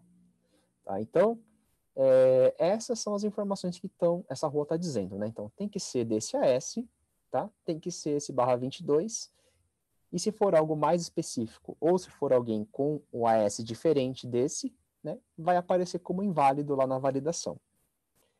É, o que, que eu posso mexer aqui? Né? É, eu posso mudar aqui, por exemplo, né, e colocar aqui um comprimento máximo barra 24. Né? Então, o que, que eu estou dizendo aqui? Olha, qualquer coisa que esteja dentro desse barra 22 até barras 24 dentro desse barra 22, pelo RPKI, né, eu vou considerar como válido. Né? Então, vamos confirmar aqui, ó, para vocês verem o que acontece. Tá? Então, só essa única roa, né, eu consigo validar aqui os dois anúncios. Né? Por quê? Porque esse barra 22 faz parte dessa roa e esse barra 24 também faz parte dessa roa, tá? porque está dentro do intervalo né, que eu estabeleci aqui dessa roa. Então, se eu né, costumo mexer muito nos meus anúncios, tá? essa é uma possível solução. É, qual que é o, o problema tá, dessa forma de você configurar a rua? É, uma vez que a rua valida tá, o anúncio, não tem como você invalidar depois. Né? Então, é, suponha que eu estou divulgando aqui esse barra 24. Aí aparece um outro anúncio dentro dessa, um outro anúncio barra 24 né, meu, só que não sou eu que estou fazendo, né? É algum outro lugar que está anunciando tá? Aquele barra 24. É por essa rua, ele vai verificar e falar, bom, faz parte desse intervalo? Sim, né? Suponho que o cara também está falsificando lá o número de AS, né? Aparece assim, ó, esse AS, anunciando aquele barra 24. Pode? Pode. Tá? Então, vai ser permitido pelo RPKI. Tá? Então, não tem como, tá? É, se você subiu essa regra aqui, né, dentro do seu CRIO, não vai ter como você invalidar um barra 24 específico, tá? Não tem uma ROA, né, falando, ó, esse não pode, né? Só, só pode falar assim, ó, esses podem, o resto não pode. Né? Se, se caiu na categoria pode, tá? Não dá para invalidar depois. Então eu posso criar aqui mais, né, 100 ROAs depois, falando várias coisas, né? Mas se essa aqui validar, né, já era, tá válido. Né? Então, é, a gente pode até fazer esse teste. Ó. Vamos pegar esse anúncio barra 24 ó, e eu vou querer falar, ó, suponha que eu quero invalidar isso aqui, né? ou sei lá, né? quero criar uma rua específica para esse barra 24. Né? Ou, então vamos lá. Né? É, vou criar aqui. Então, do barra 24 até esse barra 24. E aí vamos inserir. Ele não deixa tá? Por quê? Porque ele fala, olha, não faz sentido você criar essa regra, porque a outra regra já engloba essa regra que você quer criar, tá? Então, né, não precisa criar regras específicas, né? Inclusive ele nem deixa, né, criar isso. Agora, outras coisas importantes, tá, para a gente prestar atenção. É, existe validação, né, do que, que eu estou criando aqui como ROA? Existe, tá? Então, por exemplo, é, vamos pegar aqui, né, o nosso barra 22. Aí fala assim, ah, eu já estou configurado aqui, né? Eu já sei, eu vou, eu vou tentar anunciar a ROA de outra pessoa, né? De um bloco qualquer aqui, ó. Então, vamos pegar o bloco 200. Então, ó, vou anunciar aqui o 200.123.20.0 barra 22, né? Eu quero anunciar a ROA aqui para o meu AS, porque aí eu, né, eu invalido o anúncio do cara. Eu posso fazer isso? Eu não consigo, tá? Por quê? Porque o CRIO faz essa validação, tá? Você só consegue publicar uma ROA referente aos seus blocos, tá? Então, se você tentar publicar a ROA de um outro bloco que não é seu, não vai poder. O que, que eu posso fazer, sim? É publicar uma ROA de um outro AS, tá? É, validando aqui ó, um AS 62456. Isso eu posso fazer. Tá? Então, ó, eu criei aqui a ROA, né? Com um AS 62456. O que, que isso quer dizer? Tá? Quando eu criei essa situação. Tanto, né? o AS 61580 quanto o AS 62456 né, podem anunciar esse barra 22. Tá? Então, isso eu posso fazer sim, tá? dentro da, do, do RPKI. Né? Eu posso a, anunciar uma rua é, permitindo outros AS divulgarem o meu bloco IP. Né? Por que, que isso é importante? Né? Porque às vezes né, é, eu sou né, um cliente de alguém e esse é alguém que me anuncia pela internet, né? não sou eu que faço o meu próprio anúncio. Né? Então, é, não vai aparecer como sendo o meu AS. Né? Então, aí, né, no caso, se você tem né, essa situação de clientes que é, você anuncia por eles, tá? aí você precisa é, ter essa possibilidade aqui no CRIO de é, permitir que outros AS anunciem o seu bloco. Tá? Então, isso dá para fazer sim.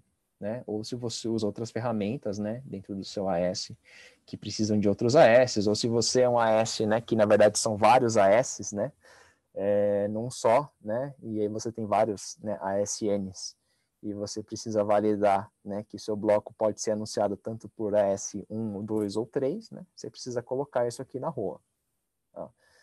Então, isso aqui, ó, não invalida, tá, a minha primeira rua, Tá? Então, qualquer pessoa que anuncie né, com um ASN 61580 está válido. Né? Se a pessoa anunciar com esse outro segundo AS, também está válido.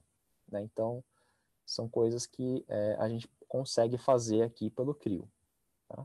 Se eu precisar remover né, alguma rua, né, eu clico aqui no lixinho, né, ele vai apagar tá, a rua do sistema.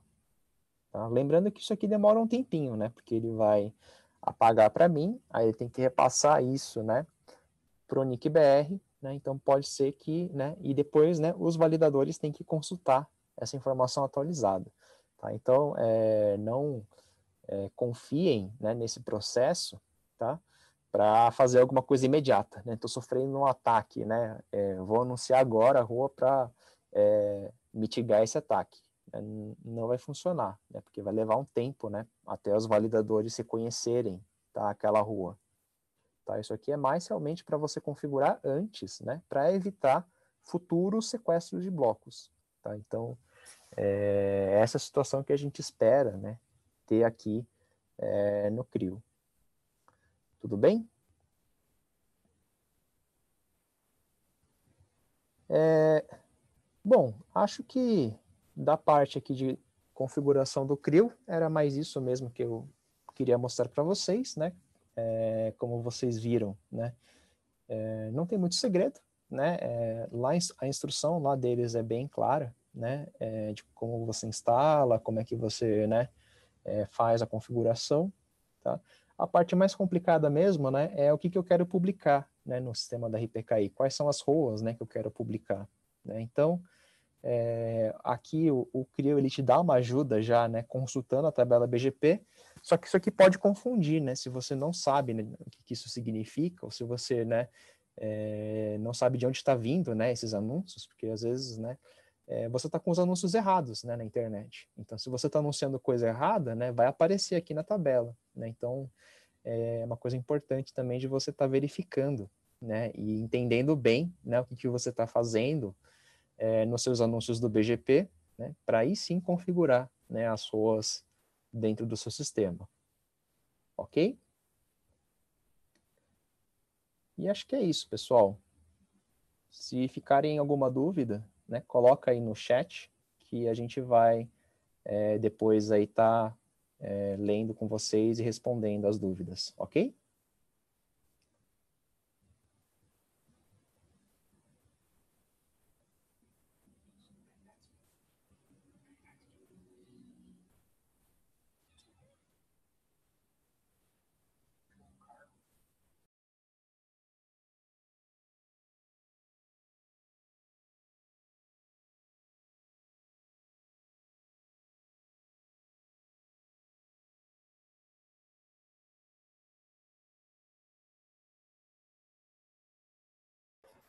Tiago, muitas gracias. Damos passo a Carlos. Tiago, muito obrigada. Passamos então a palavra a Carlos para que ele faça a sua apresentação. Adelante, Carlos. Carlos, com a palavra. Sim, estava respondendo umas perguntas no chat, no bate-papo. Deixo então para, é, para que vocês, o espaço para que vocês façam a pergunta. Respondam as perguntas.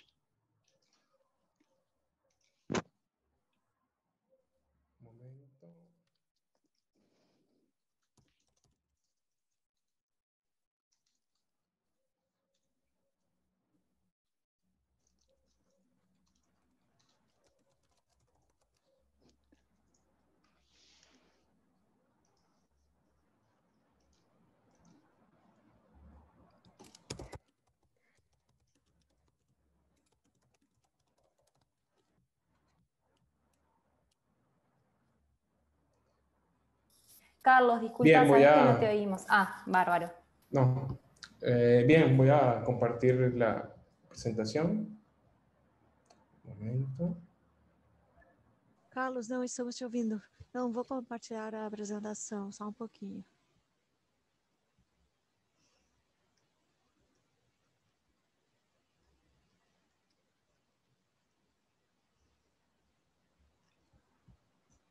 ¿Se ve allí? Conseguem visualizar?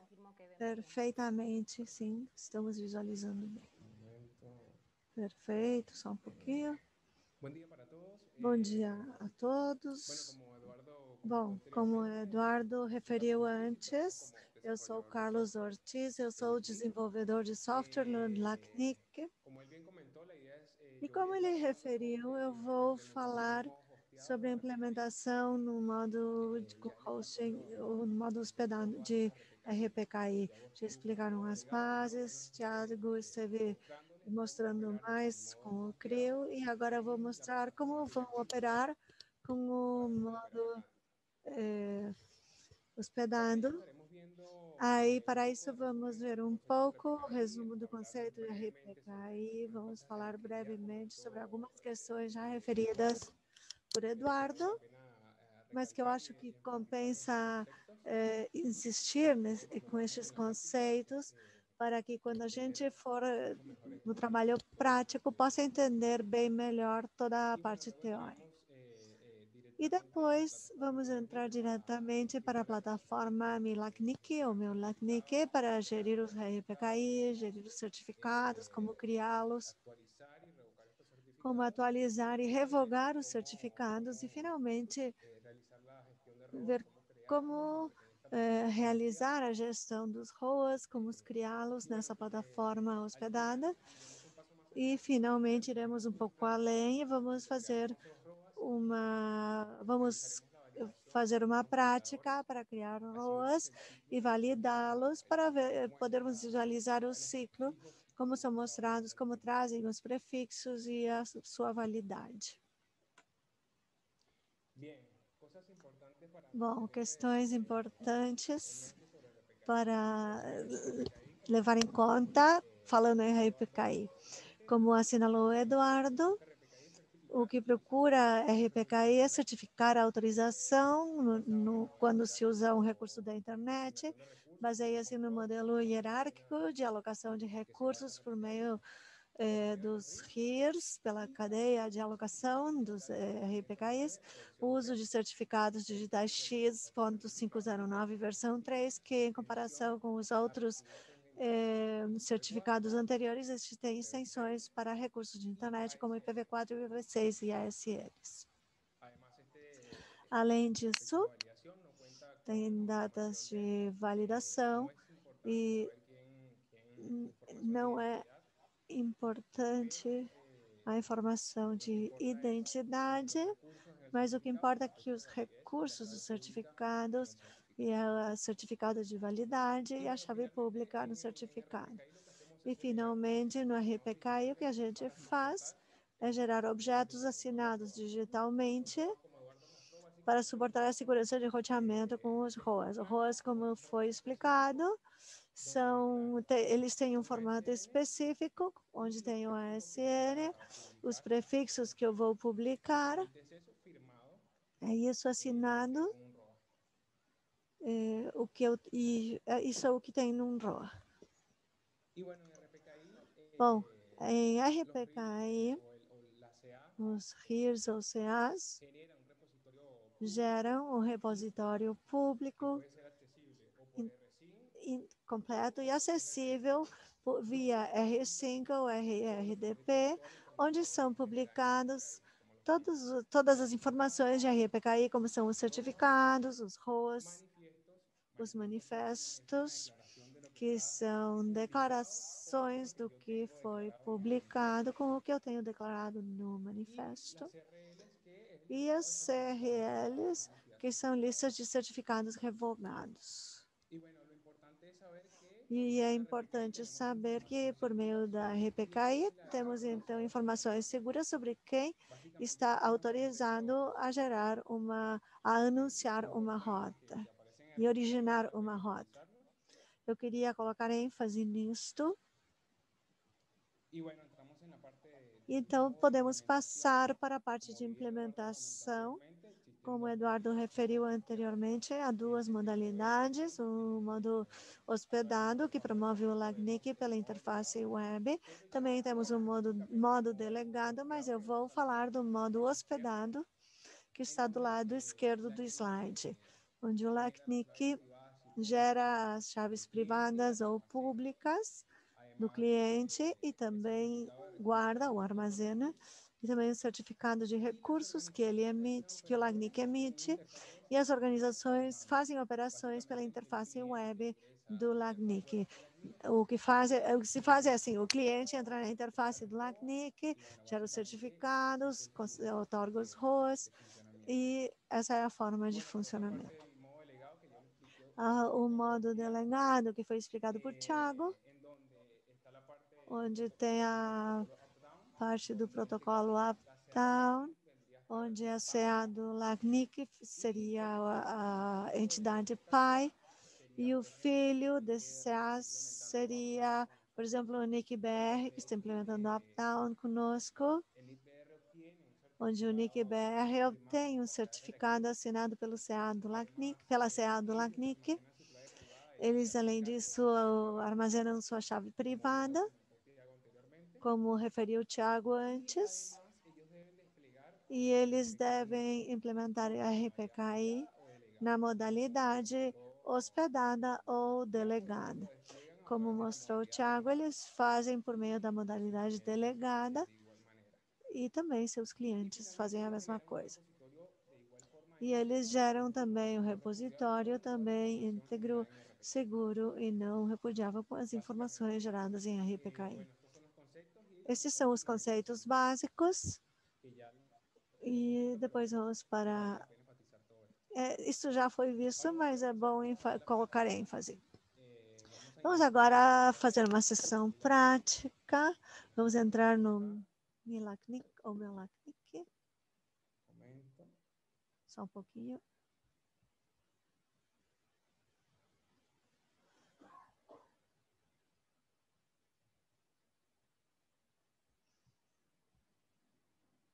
A ver um momento acá. O que queremos Vamos ver aqui.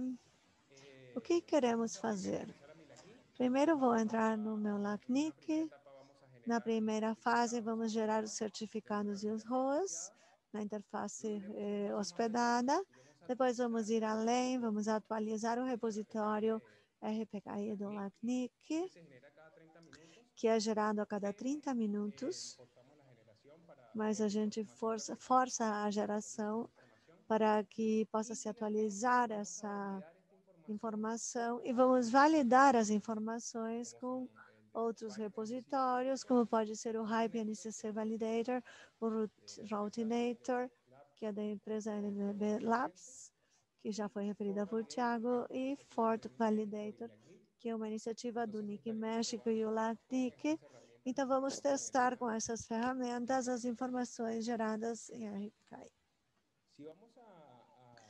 Se a gente for entrar no, no, no Milacnic ou vamos tentar testar com o usuário.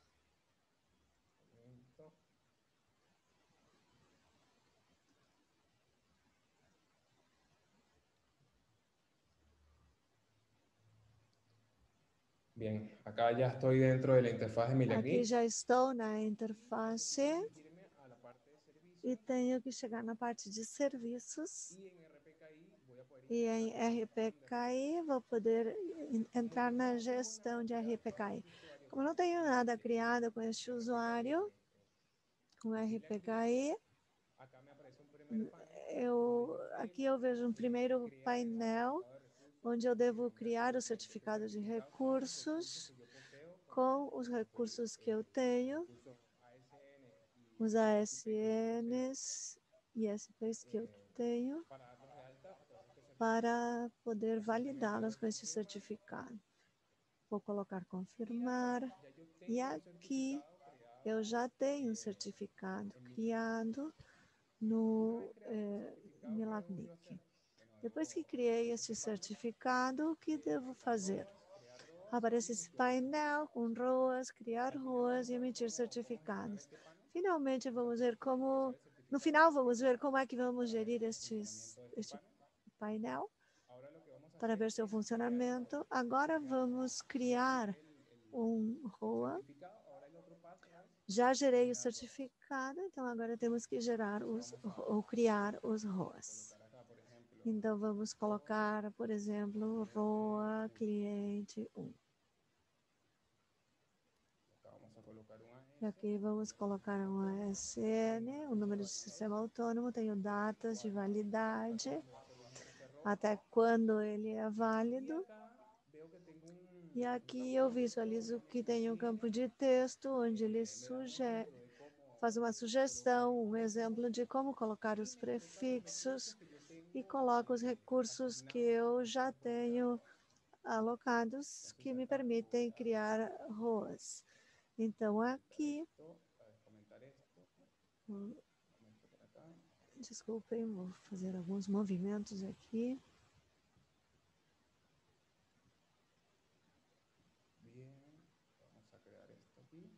Vamos criar isso aqui.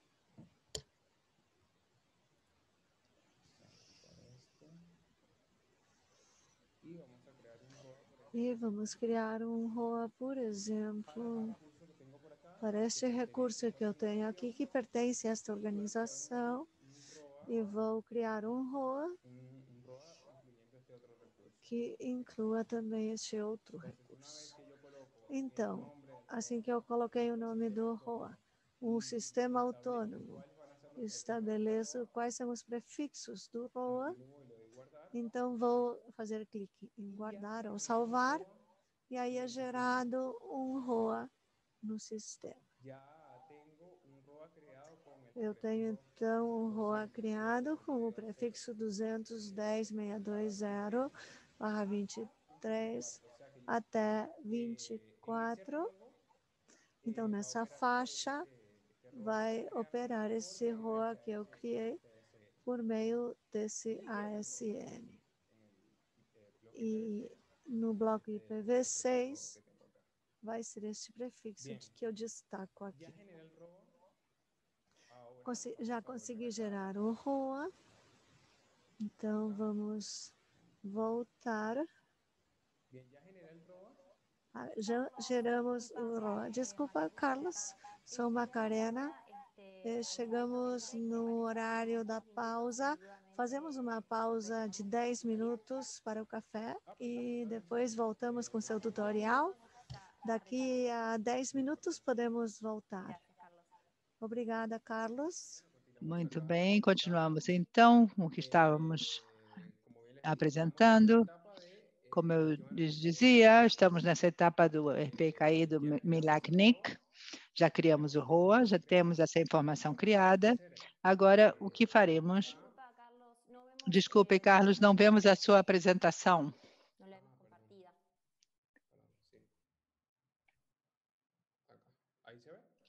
Agora podem ver? Sim, agora sim. Muito obrigada.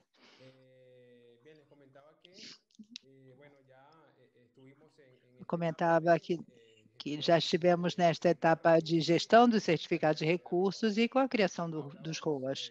Agora vamos, então, ver a seguinte etapa. Qual é?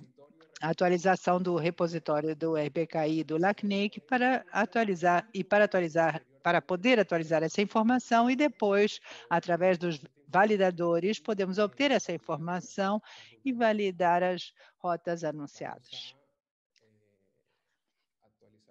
Vamos atualizar este, repositório aqui.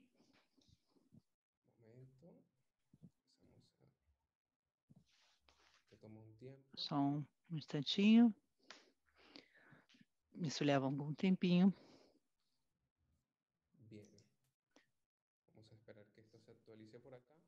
Vamos esperar que se atualize. E, enquanto isso, vamos ver.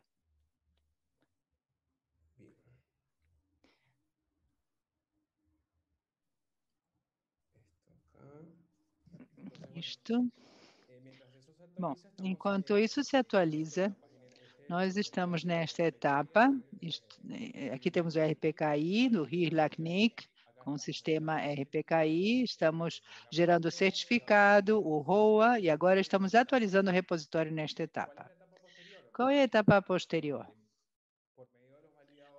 Por meio dos validadores, o RIPE-NCC, seja o Routinator, nós acessamos o repositório através do RSync ou por meio da RRDP, nesse caso vamos fazer por RSync, e vamos trazer esta informação ao validador.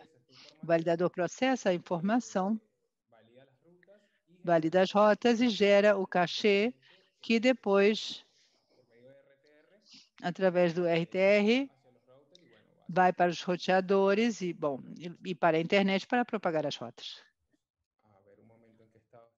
Vamos ver em que está, como está a atualização.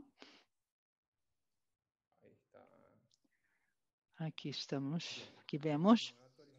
Bom, terminou a atualização. Agora podemos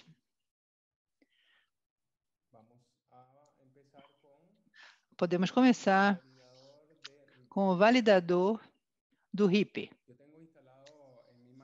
Eu tenho instalado na minha máquina o RIPE-NCC Validator na sua versão 3. Eh, mais adiante eu vou mostrar um link que eh, ilustra a instalação desses validadores, são passos simples. E depois passamos a rodá-los, eh, executá-los. Eh, tem um validador aqui.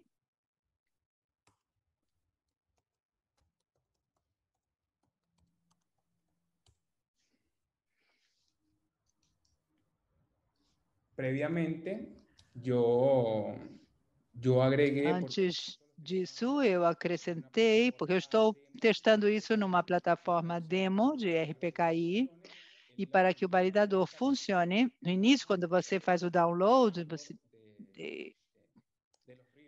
ele vai para o Trust Anchor dos HEREs.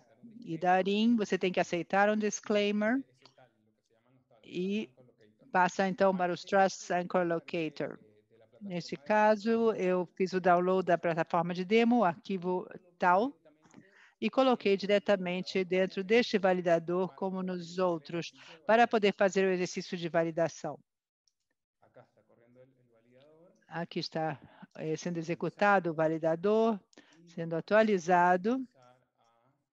E vamos entrar, então. Isto está sendo executado nesta porta pode mudar, um arquivo de configuração você pode mudar. E que também é o link que veremos mais adiante, onde eu vou mostrar a documentação de como se faz isso. Estamos, então, na interface, de, na interface de valid, do validador do RIP e me mostra este, apenas este repositório, que é na plataforma de, de demo que está configurada. Entro aqui, me mostra que eu tenho um repositório acessível, por RSIM, é, sim, é, eu posso carregar é, e tenho todos esses objetos aqui que estão vigentes. Vamos procurar especificamente. Este que nós criamos antes. Vamos colocar nos ROAS. Aqui eu tenho o ROA já criado foi trazido pelo validador do repositório. E agora vamos colocar outro prefixo. Tem outro prefixo já com o tamanho ou comprimento máximo especificado em ambos os casos. Neste caso, é o IPv6, prefixo IPv6 barra 46, com máximo de 48, como vemos aí. Vamos checar a rota.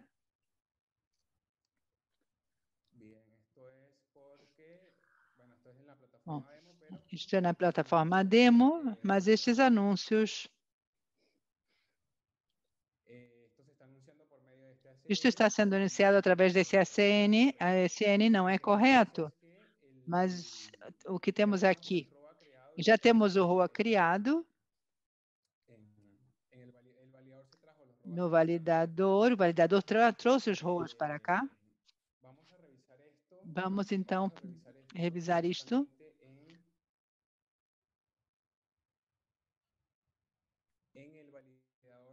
No validador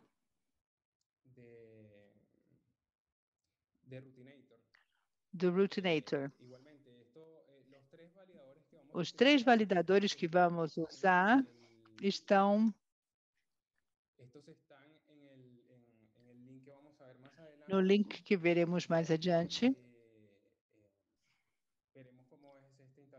Onde vamos ver também como se, se dá essa instalação. Aqui vamos simplesmente executar o comando.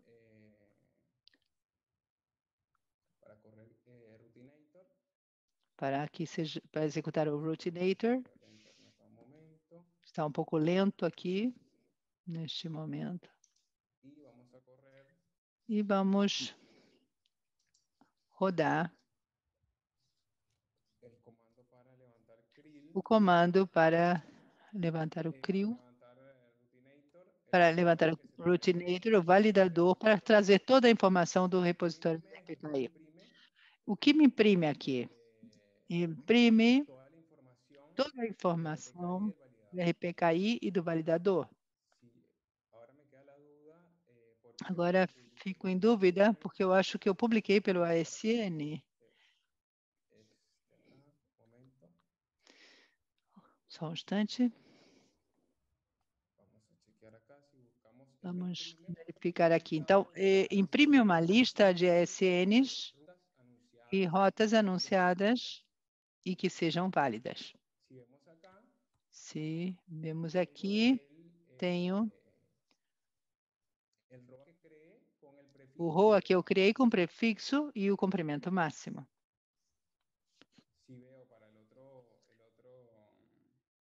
Se vejo para, uh, procuro outro bloco. Vamos baixar isto. Se continuo com outro bloco, vejo que eu tenho um, um rua 28 mil com prefixo 201 1367 barra 46 com comprimento máximo de barra 48. Então, aqui eu tenho Rodei dois validadores. Esses dois estão na minha máquina. E vemos como a informação, o que eu gerei no RPKI, termina indo para o repositório. E, finalmente, por meio do validador, eu tenho essas informações e posso considerá-la é, válida, não válida ou não é, encontrada, unfound. Vamos fazer o teste finalmente com o validador for. Tenho isto numa máquina virtual. Vamos entrar aqui.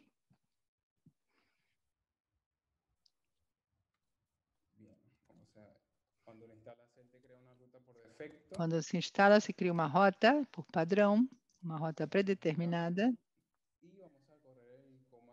E vamos executar o comando para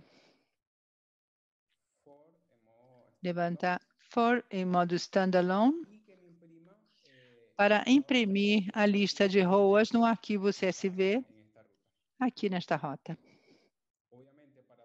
Claro que para todos os casos, como eu comentei, no caso do RIP, para todos do Routinator e do Fort, eu baixei, eu fiz o download do Trust Anchor da plataforma demo e só estou acessando esta plataforma.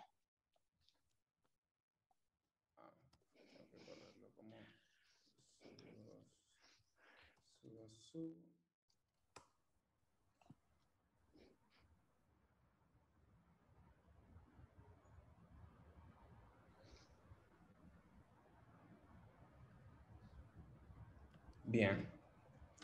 Muito bem. Vamos ver se eu faço um LS. Eu vejo que já foi gerado o ponto esse, esse B, o, é o arquivo que já tinha sido gerado. Então, me gera a lista de todas as os, os eh, SNs com as suas rotas e seus comprimentos máximos. E vamos ver aqui também o prefixo. Vamos procurá-lo aqui. Vemos que tem o prefixo do AS 28000 e o prefixo com comprimento máximo de barra 48. Vamos para o próximo. 200 barra 23. Tenho aqui, então, o prefixo IPv4 com um intervalo de 23 até comprimento máximo de 24. Então, aqui eu estou vendo como eu gero informações em RPKI e isso se vê refletido para fora, como é gerado pelo repositório e depois como o validador mostra. Nesta etapa, então, o validador foi por RSync, obteve a informação do repositório, trouxe essa informação e gera um cachê validador, que depois é, é consumido pelos, pelos é, roteadores por RTR e termina indo para a internet com os anúncios que forem especificados no cachê de validação.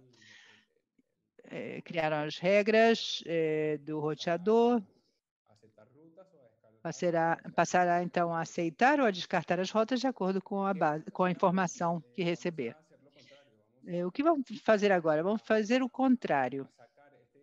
Vamos tirar essa informação gerada em RPKI, vamos eliminar esse ROA que criamos e vamos ver, vamos executar novamente os validadores para ver se é, ainda continua trazendo essa rota e depois quando a gente atualizar o repositório, olhar no ROA e depois atualizar o validador, vamos ver se isso não sai mais para na internet.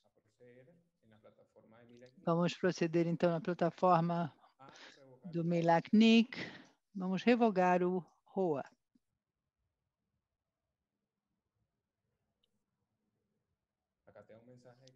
Aqui tem uma mensagem dizendo que tem, teve, que foi revogado é, com sucesso e depois que foi revogado, o que, que eu tenho que fazer? Voltar a, a, executar o repositório para atualizar essas mudanças. Então, volto aqui à plataforma administrativa na plataforma demo, e clico em atualizar.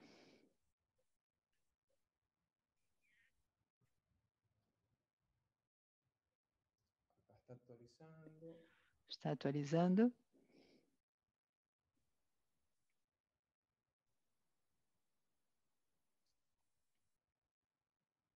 Vamos esperar que esto actualice. Vamos esperar que isso se atualize. Vamos checar então para os outros ROAS.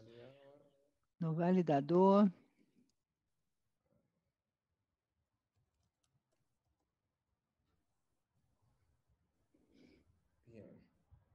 Muito bem.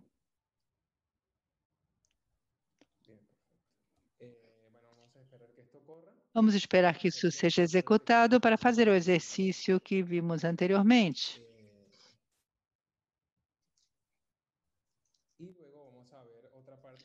Depois vamos ver essa outra parte dentro da plataforma de RPKI, onde aparece a lista de prefixos das, da organização e que, como está vendo, como se vê o estado em que essa informação é mostrada.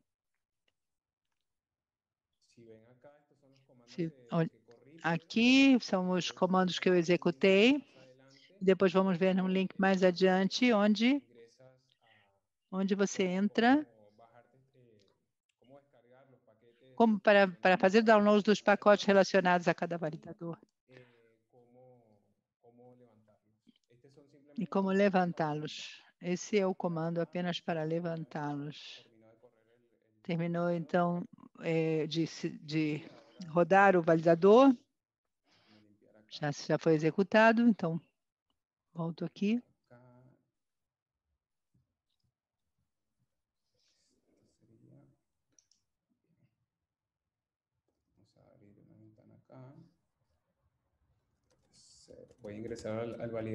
Vou entrar para o vou entrar no validador, no routinator. Isto eu tenho na minha máquina, está na minha máquina rodando. E vamos então levantar outra vez para ver que informações ele me traz. O Routinator.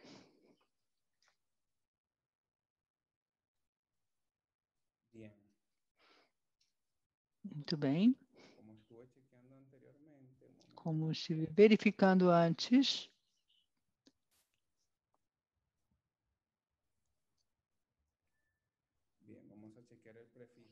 Vamos checar o prefixo no validador do Routinator. Movemos, já não aparece mais no validador. Essa informação já não aparece mais. Eu, eu, eu tirei do sistema do RPK e do LACNIC, depois atualizei o repositório novamente. E, finalmente, quando o validador vai para o repositório do RPKI do LACNIC, neste caso, ele procura, já não encontra mais essa rota.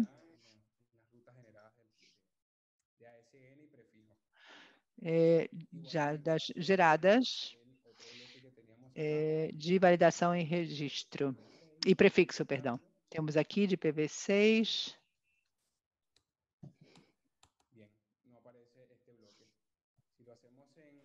Bem, não aparece esse bloco. Vamos fazer a mesma coisa, simplesmente.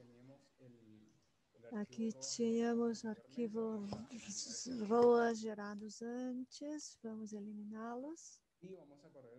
E vamos rodar o comando mais uma vez.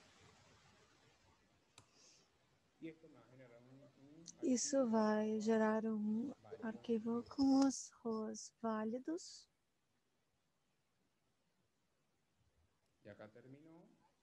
Aqui ele concluiu. Conforme o LS, eu vejo que tenho arquivo criado. Vamos fazer um cat. ROAS.csv. CSV. Aqui tudo isso foi gerado mais uma vez.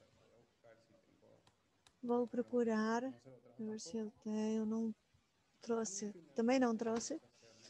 E vamos fazê-lo com esse prefixo também não. Então, já não tenho as rotas que eu removi quando revoguei os ROAS. Finalmente, o que vamos fazer entrar no terceiro validador, o do RIP. Vamos visualizá-lo um minuto por aqui. Estou rodando para que ele se mantenha ativo. Muito bem. Eu tenho ele instalado aqui localmente.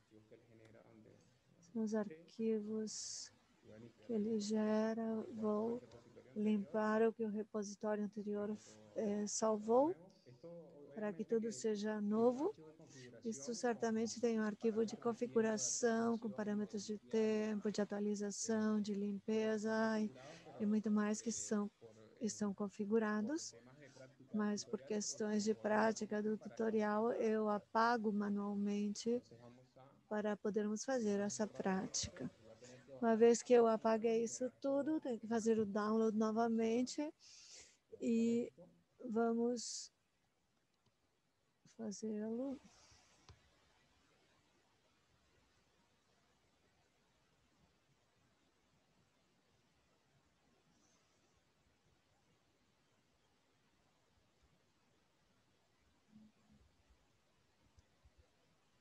Esperando correr. Estou aguardando que rode. E agora vamos acessar novamente pelo repositório, trazer tudo.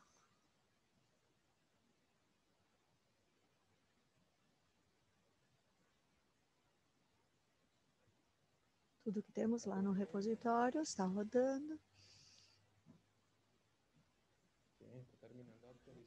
Está concluindo a atualização. Vamos entrar na interface para verificar que os ROAs que eu criei não estejam mais em vigor. Bom, vamos entrar.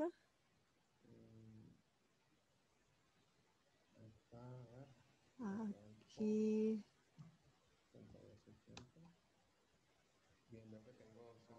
Eu vejo que tenho 5.401 objetos. Eu vou fazer o download do repositório. Se eu verificar na parte dos ROAs, vou verificar o ROA específico criado antes. Eu visualizo que não há nenhuma entrada que esteja ligada a esse ROA, porque, mais uma vez, como eu já falei, eu apaguei esse ROA. Quando a gente gera informações RPKI, aceita ou quando colocamos as coisas para atualizar, a gente atinge ou abala o que é, é publicado. Tem impacto no que é publicado na internet. Então, aqui fizemos o exercício de gerar os ROAs, atualizar o repositório e, por meio dos validadores, verificar que os ROAs eh, fossem atualizados a validade, por exemplo, quando a gente valida no RIP, traz informações sobre os anúncios atuais, reais, por dizer de alguma forma. Então, pode mostrar alguma validade errada, não porque estou trabalhando com uma plataforma demo, então não é.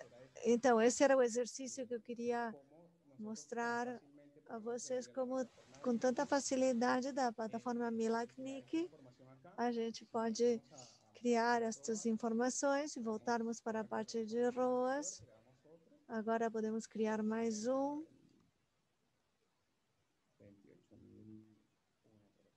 Vinte e oito mil e um, por exemplo.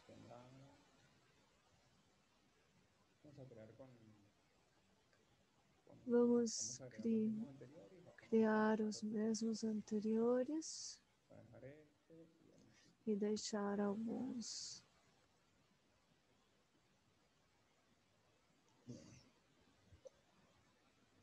Bem, e aí salvamos. Aqui temos um ROA criado com três prefixos, a extensão máxima. E aqui posso editar as informações, posso editar os ROAS, posso acrescentar um, mais um prefixo. Poderíamos, podemos acrescentar aqui um outro prefixo, este, por exemplo, desculpem, aqui.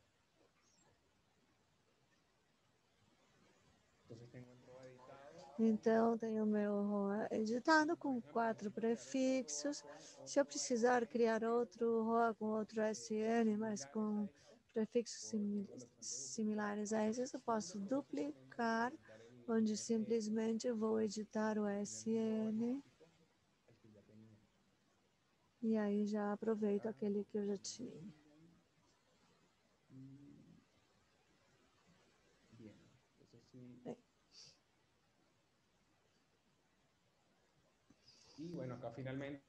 E aqui finalmente temos também a possibilidade de revogar, que faz o que já visualizamos antes. Mais uma coisa interessante aqui é a gestão do certificado em RPKI. Aqui ele mostra as informações do certificado, o número de séries, os recursos, IPv4, IPv6 e ASN, informações de publicação, a validade e podemos atualizar o certificado. Se agora tenho mais recursos, eu posso clicar aqui atualizar o certificado para que gere um novo certificado com os novos recursos. Ou se agora os recursos são menores, eu também vou atualizar e faço este procedimento e ele acaba atualizando o certificado que acaba atualizando o repositório e tudo mais que tenha que ser atualizado.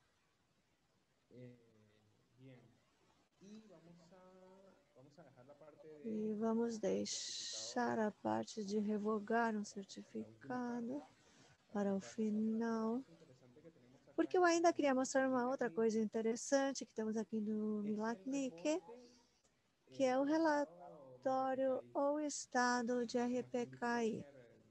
Aqui tem um disclaimer de como funciona e o que fazemos aqui a gente faz o download uma vez por dia, as informações do RIP, dos ROAS, validados, verificamos os prefixos das organizações, o estado de validade da, dos prefixos da organização, essas informações que, que baixamos e mostramos os estados dos ROAs. Este é um caso, se, por exemplo, é, aparecer um not found, ou não válido ou inválido, vai mostrar a sugestão de corrigir ou criar o ROA.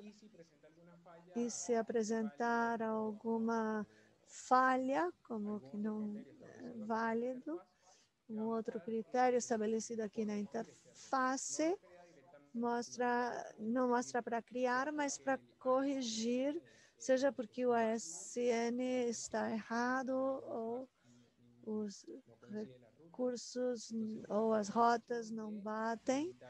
Então, vocês têm a opção de editá-lo e corrigi-lo. Então, o que ele vai mostrar é que essas informações são atualizadas uma vez por dia e como está atrasada a informação, então você pode criar esse ROA que você estava é, atualizando ou criando antes. Então, posso criar esse ROA e tenho um outro criado para o AS 28000 com sua interface. Vamos fazê-lo novamente para gerar essas informações e encerrar esta parte de validação, fazê-lo por terceira vez.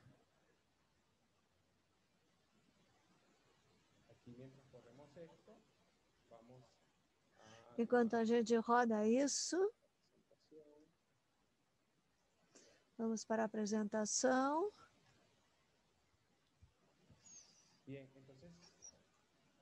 E qual é a validação feita como redundância nos validadores? O que, que se procura validar quando você obtém as informações de RPKI? O que você procura é verificar as datas de validade dos certificados, verifica a assinatura, também o caminho das assinaturas para a fonte de confiança, que o certificado com o qual estamos tratando não esteja na lista de certificados revogados. Isso é muito importante na hora da revalidação, porque não faz sentido eh, trabalhar com certificado que foi revogado. Então, que a lista de certificados revogados tem que estar em vigor, tem que estar atualizada, isso é muito importante e que exista uma coerência entre os manifestos e as publicações. É, como vocês já, como já falamos, os manifestos são é, documentos com o que eu declaro que eu vou gerar e com o que está gerado no repositório. Então, por lhes oferecer um exemplo, se eu tivesse uma lista de, para o supermercado com muitos itens, vou, faço as compras, volto para casa e por meio da lista eu vou verificar.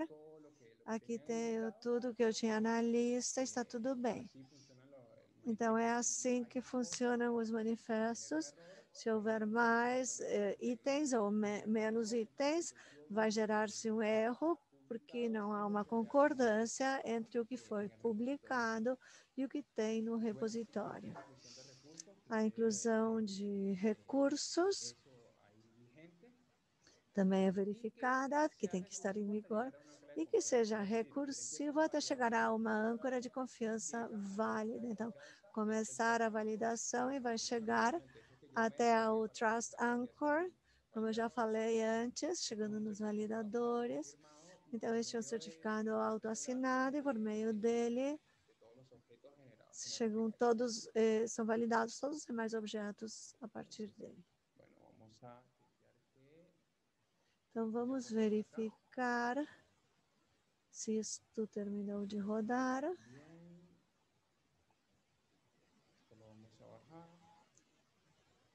Isto vamos baixar. Vamos enviar neste momento.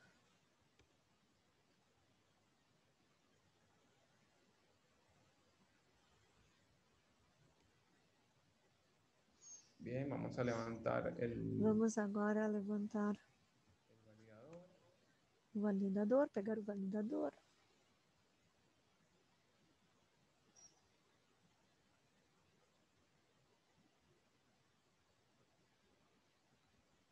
Vamos a hacer lo mismo en el, en for. Vamos fazer a mesma coisa aqui no Forte. Vamos remover o arquivo do ROAS que tínhamos antes e vamos gerar um novo.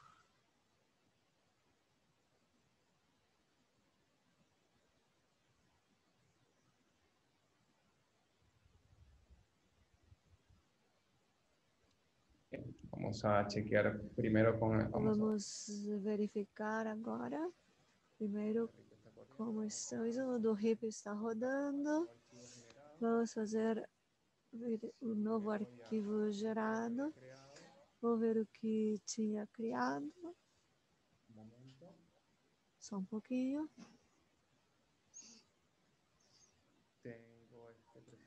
Tem este prefixo aqui. Vamos verificar no forte. Só um pouquinho.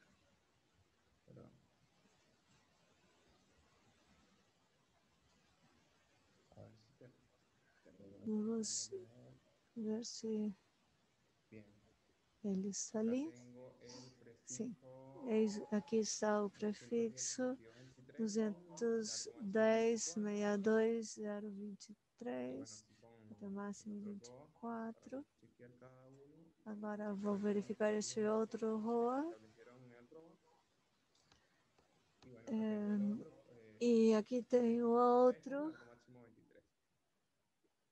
com extensão máxima 23. Vamos verificar na interface de RPKI, o RIP, o RIP. E se vamos para a parte de ROAS,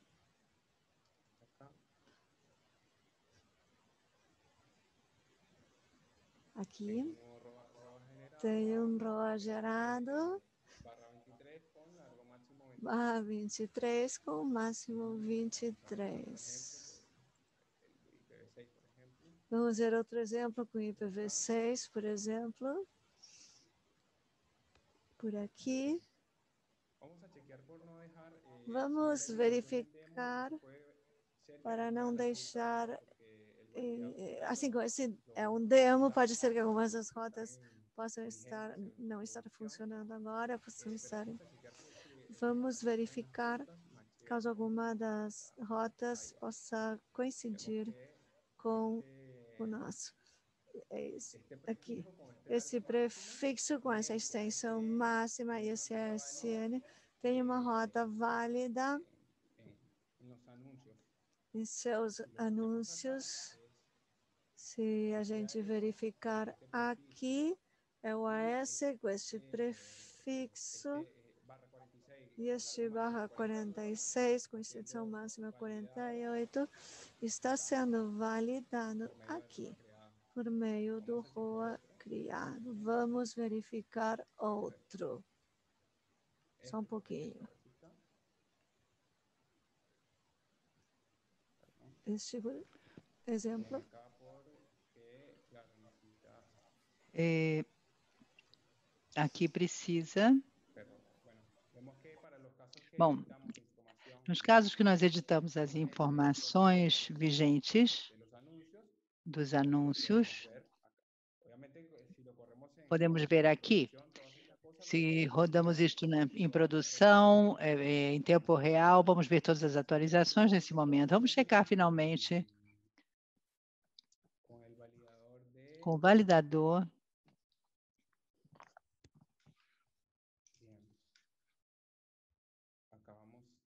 Aqui, só um instante.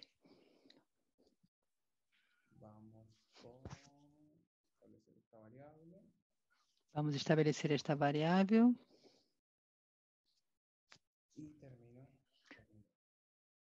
E termina executando aqui.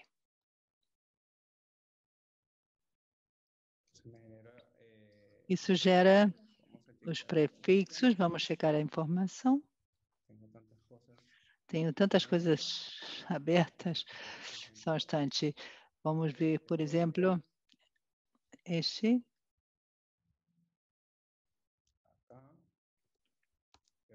Aqui, com S28001, esse bloco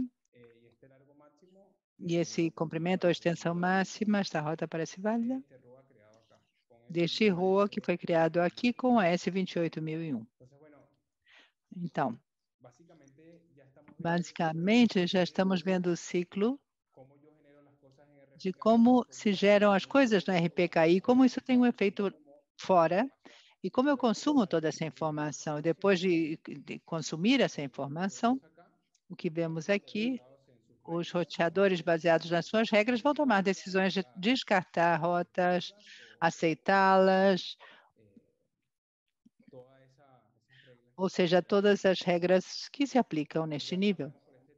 Passamos por esta etapa, então, passamos por esta também, e aqui quando ao consumo da informação, que é, é a parte posterior a toda a validação anterior. Basicamente, vamos terminar aqui a apresentação.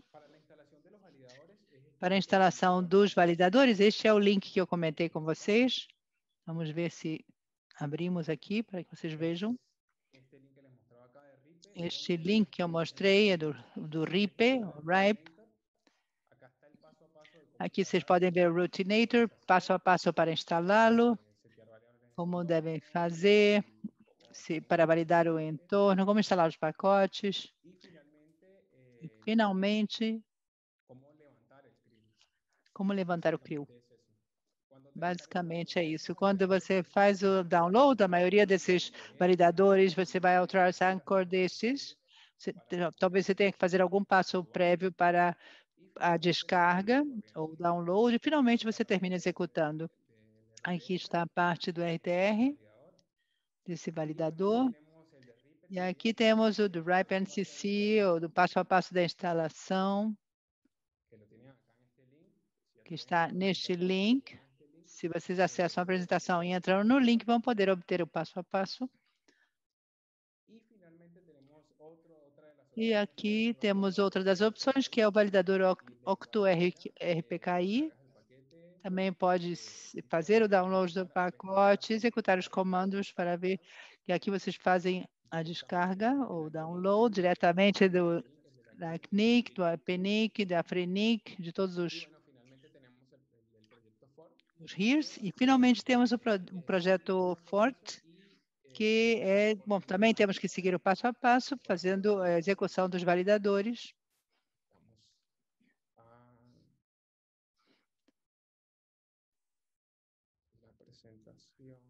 Vamos à apresentação. Bom, e aqui eu tenho outros links que eu queria mostrar também a vocês, que são esses que estão aqui, são ferramentas que temos no LACNIC para ver como são vistos os anúncios. Se eu quero, por exemplo, ver os anúncios de uma organização, coloco aqui no Milacnic.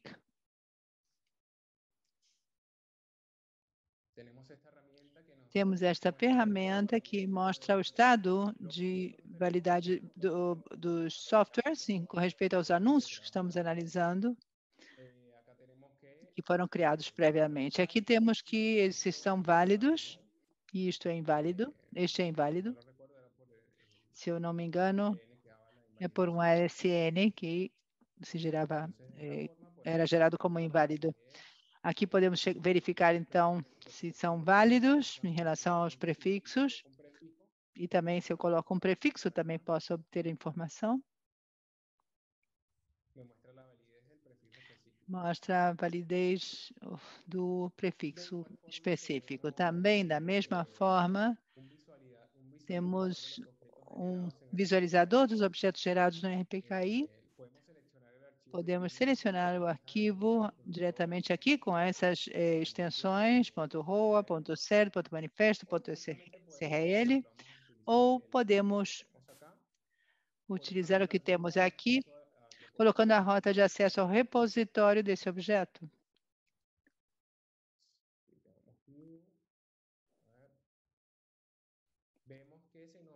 Vemos que aqui aparece um painel informativo com tudo que esse certificado tem, com a chave pública, outras informações, com a assinatura desse, quem assina esse certificado, esse, o CIA, onde está o manifesto, onde está o repositório, etc.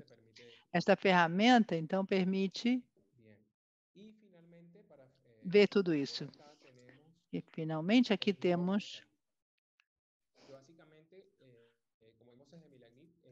como vemos no Milacnic, o ROA, no, no estado do RPKI, sugere alguns critérios, por exemplo, a criação de ROAs, eh,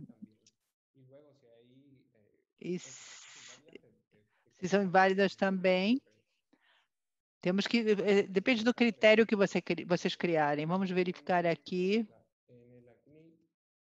Milacnic.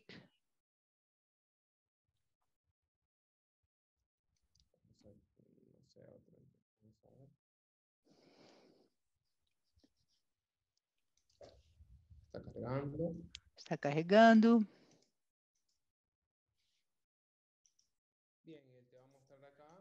Tudo bem, o que vai mostrar aqui de acordo com o que você colocar aí, vai, ser, vai aparecer a organização, mostra também para este prefixo, este é o comprimento máximo, extensão máxima e as diferentes opções de acordo com os ASNs que vocês tiverem e os prefixos é, que estejam sendo anunciados.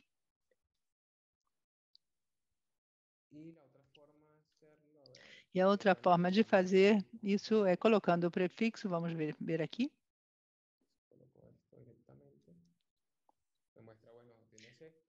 Nos mostra isto com este comprimento máximo. Essa é a sugestão que ele me dá. Essas eram as ferramentas. E para terminar, estas eram as ferramentas já para concluir. E com isso, então, encerramos o tutorial. Queríamos mostrar isso. Como eu gero uma informação na interface do Milacnic e como isso vai parar no repositório e posteriormente também no, aos, nos validadores, para que a informação seja validada e aceita ou descartada de acordo com a validação feita. Se tiverem alguma consulta, coloquem no chat, é, no bate-papo e eu respondo. Muito obrigada. É, obrigado, Carlos. Temos sim algumas três perguntas no,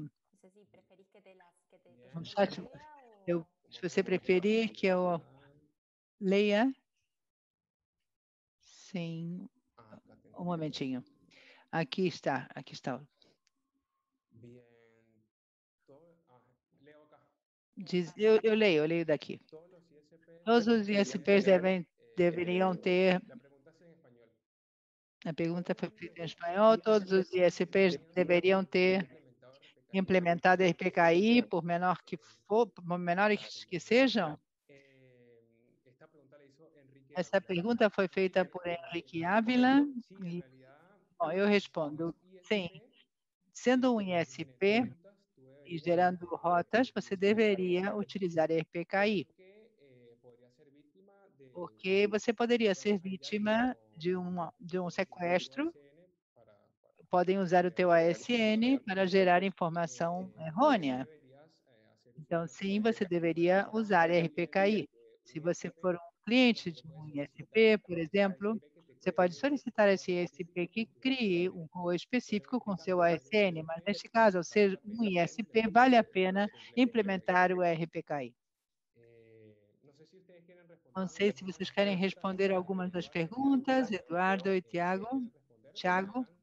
Se quiserem responder, estamos aqui para isso. Ou se quiserem complementar a minha resposta. É, uma vez que você utiliza o RPKI, né, na questão de publicação, lembra que as outras instituições não vão roubar o seu prefixo. Então, você tem essa garantia na questão do RPKI. Então, acho que isso é uma coisa importante. Por mais pequeno que seja, é importante trabalhar com o RPKI. Isso, o RPKI só vai funcionar se todos utilizarem. Tá? Se não tiver a cooperação dos outros, não vai funcionar.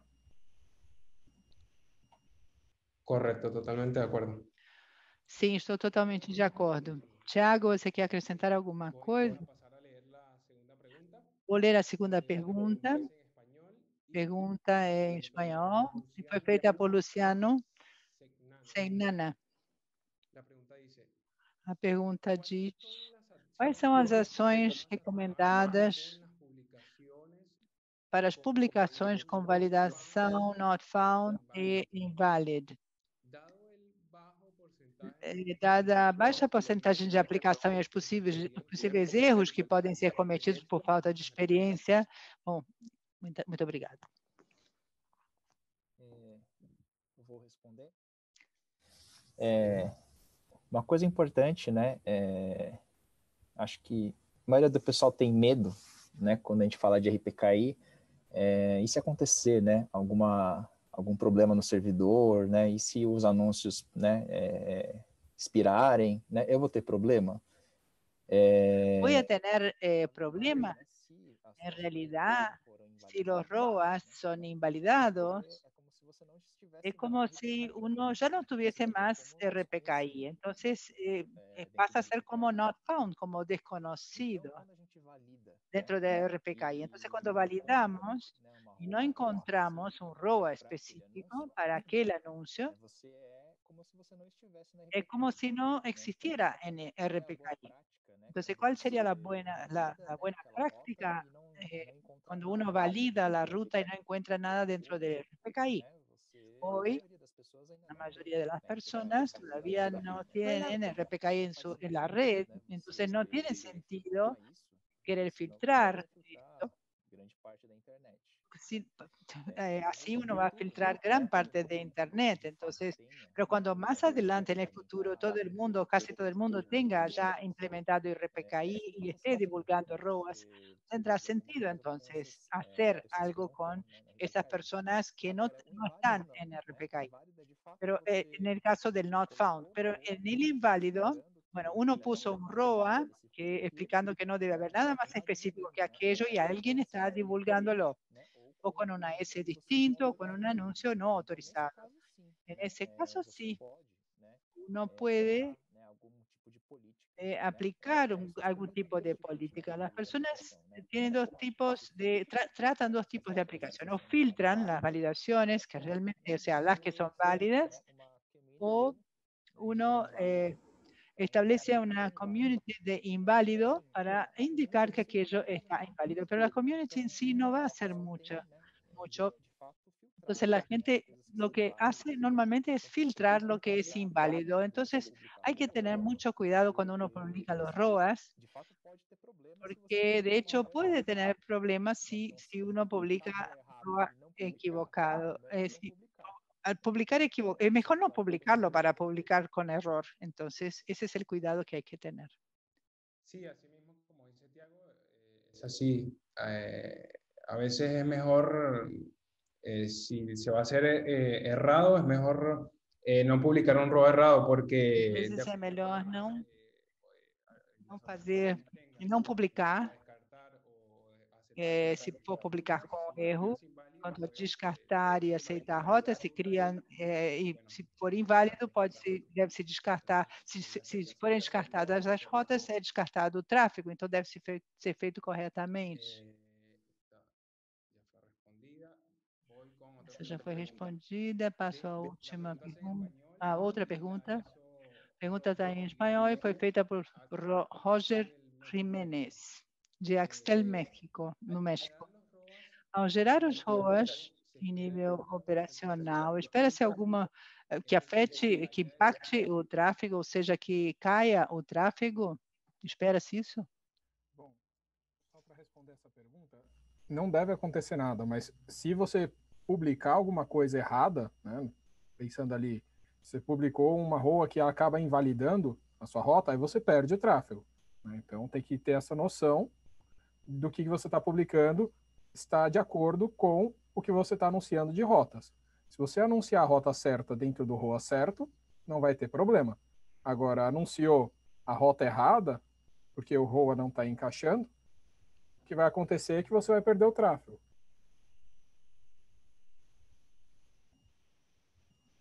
Perfecto.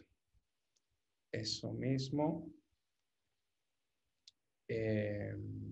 Bien, luego tenemos otra pregunta igual de Roger Jiménez. La pregunta es en español. Tenemos otra pregunta también de él, do Jiménez. Dice, nós já geramos os ROAS para um dos dois AS que temos. A única dúvida que eu tenho é sobre gerar os ROAS para o segundo AS, por isso é, fiquei na dúvida.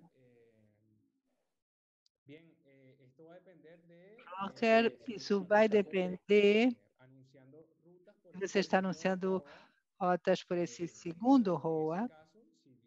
E nesse caso, se estiver usando esse AS para publicar as suas rotas, você deve publicar esse ROA fazendo referência aos seus prefixos. Não importa que você tenha os prefixos no ROA, mas aqui você está fazendo referência a outro SN, então não, não vai ter problema. Você pode criar os dois AS e eles fazem referência a esse outro diferente. Mas você tem que ver se você vai fazer uso desse segundo é, é, SN para publicar as suas rotas.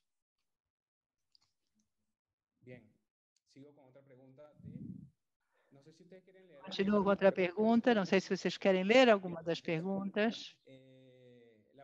Espanhol e é de Emanuel Serrano. Pergunta em espanhol de Manuel Serrano e diz o seguinte: Atualmente, eu tenho barra 16 com um ROA e RPKI já criados. Anunciados com o ISP. Mas estamos a ponto de modificar o nosso anúncio de BGP em blocos menores por integração de três links adicionais com o mesmo ISP, mas numa zona geográfica diferente. É necessário criar novos ROAs para esses novos segmentos? É, eu vou responder essa. Bem. Para o RPKI, né, é, não existe tá, geolocalização, né, porque na validação, né, a gente viu no tutorial agora, a gente sempre pega, né, das cinco bases de validações, né, então ele pega sempre as ROAs que estão publicadas, né, no mundo inteiro. Tá? Então, se você publica, né, a ROA aqui no LACNIC, as pessoas da Europa também vão ver, né, essas publicações, tá? Então, não tem problema, né, independente de onde você divulgue, tá, esse anúncio, né, é, não existe essa validação geográfica. Né? O importante é, a, é o que está na rua. Né? Então, é o bloco, né, o ASN né, e o prefixo máximo. Perfeito. Eh, temos uma última pergunta. Temos uma última pergunta. Essa pergunta foi feita por Carlos Federico Marsari, em espanhol. Diz: só o administrador de uma entidade pode criar os ROA.